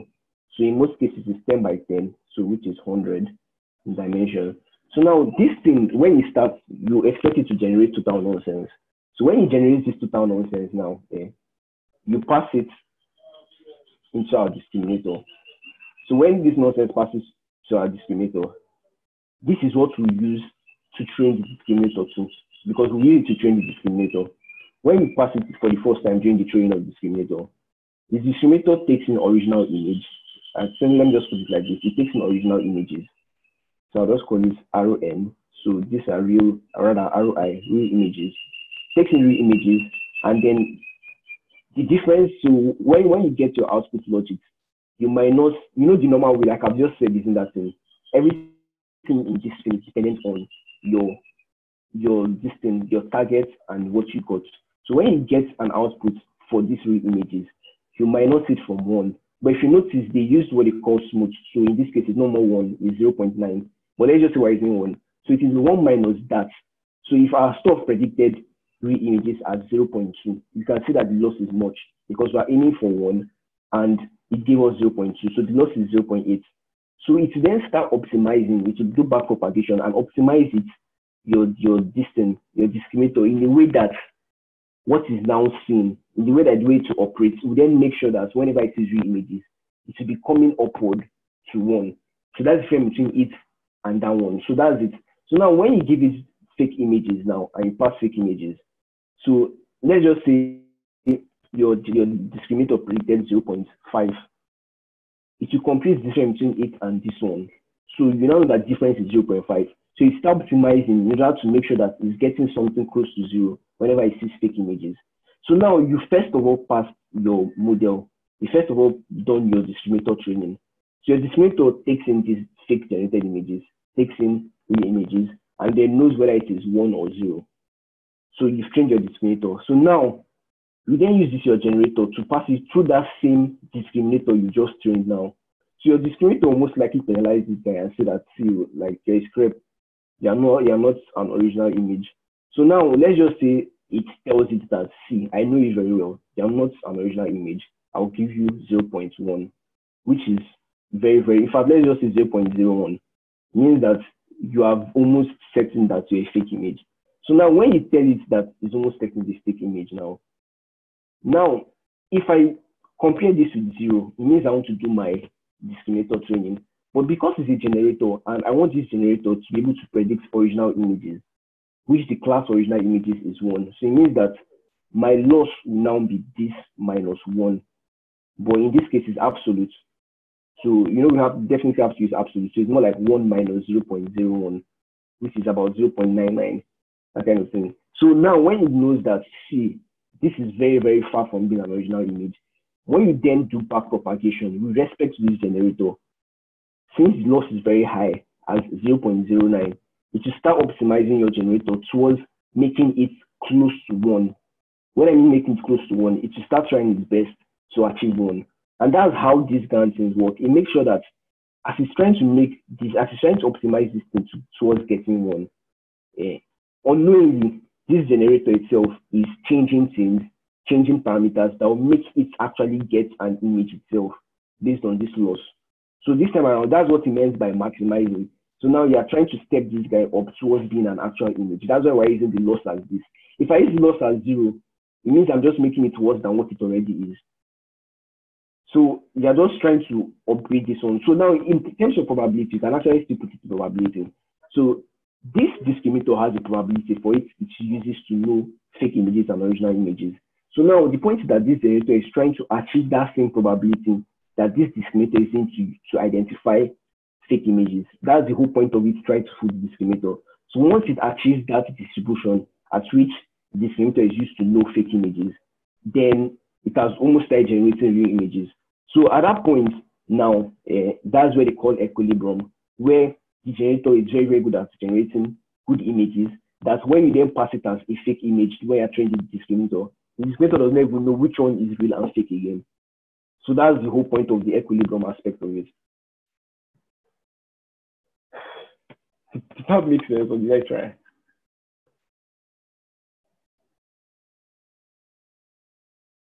There is anyone here? yeah, yeah, yeah. We're here. yeah, we are here. Yeah, I think it's, it's making it's making more sense now. It's making actually Yeah. making more sense. Yeah, so like what I was want you know is that the whole point is that we're working with this loss. Is this loss that makes us know? You know that now this loss for this case now, forget I'm doing this, I'm supposed to get a negative value. But in the normal case, the loss is like 0.99, I think. 0.99 plus 0.01 give you 1. So this is like the loss. So you can see that the, the generator loss is very high. So this is the loss on it being an actual one. For this discriminator, if if he if he tells you that this generator was, let's just say, if you pass the generator, it got 0.2. So it will be 0.2 minus 0. That's what we all know. So you know that this, this is how you move. It means that our loss is 0.2. So we'll be back propagating with this particular loss to update it. If he predicted this as 0.6, it means that the loss is 0.4. So we'll be back propagating with the original image to make sure that it's able to get something like this. But for this one, that's not the whole point of the whole dance. The point that you want to generate your images. So if you make use of this loss, so as you keep training the generator, this loss would be reducing. In the normal case, it's maximizing actually because you are trying to fool this guy. It's maximizing, but maximum using maximum and using maximum method is very very computationally expensive. So you prefer to just sw- um, swap the labels. When you swap the labels, you then start reducing the error, the difference between this one and one. So if this one is able to get to one at all, eh, then it means that it's very, very good at generating good images. So whenever it generates an image, this guy, this discriminator will say is an image, and it's also be one minus one, which is zero. So you can just take this guy as, as our judge that will tell you how far this is from telling the truth or doing the right thing. So, and what makes it make sense is the fact that for each training procedure, this discriminator keeps getting better, this generator keeps getting better. Because whenever this one gets better, you pass it here and tell you that these are fake images. So this one will know that it is fake and this one is real. But that point where the images it start generating are almost or if it's the same thing with this one, then wow, it means you have gotten a good generator. So that's just how it is. So like there's, I was just want to show something for you. It's not going to take time at all. So when I worked with this thing, there was one I worked on. So that's I, I did this anime generation. So this was it here. So I don't know if I still have the output of it.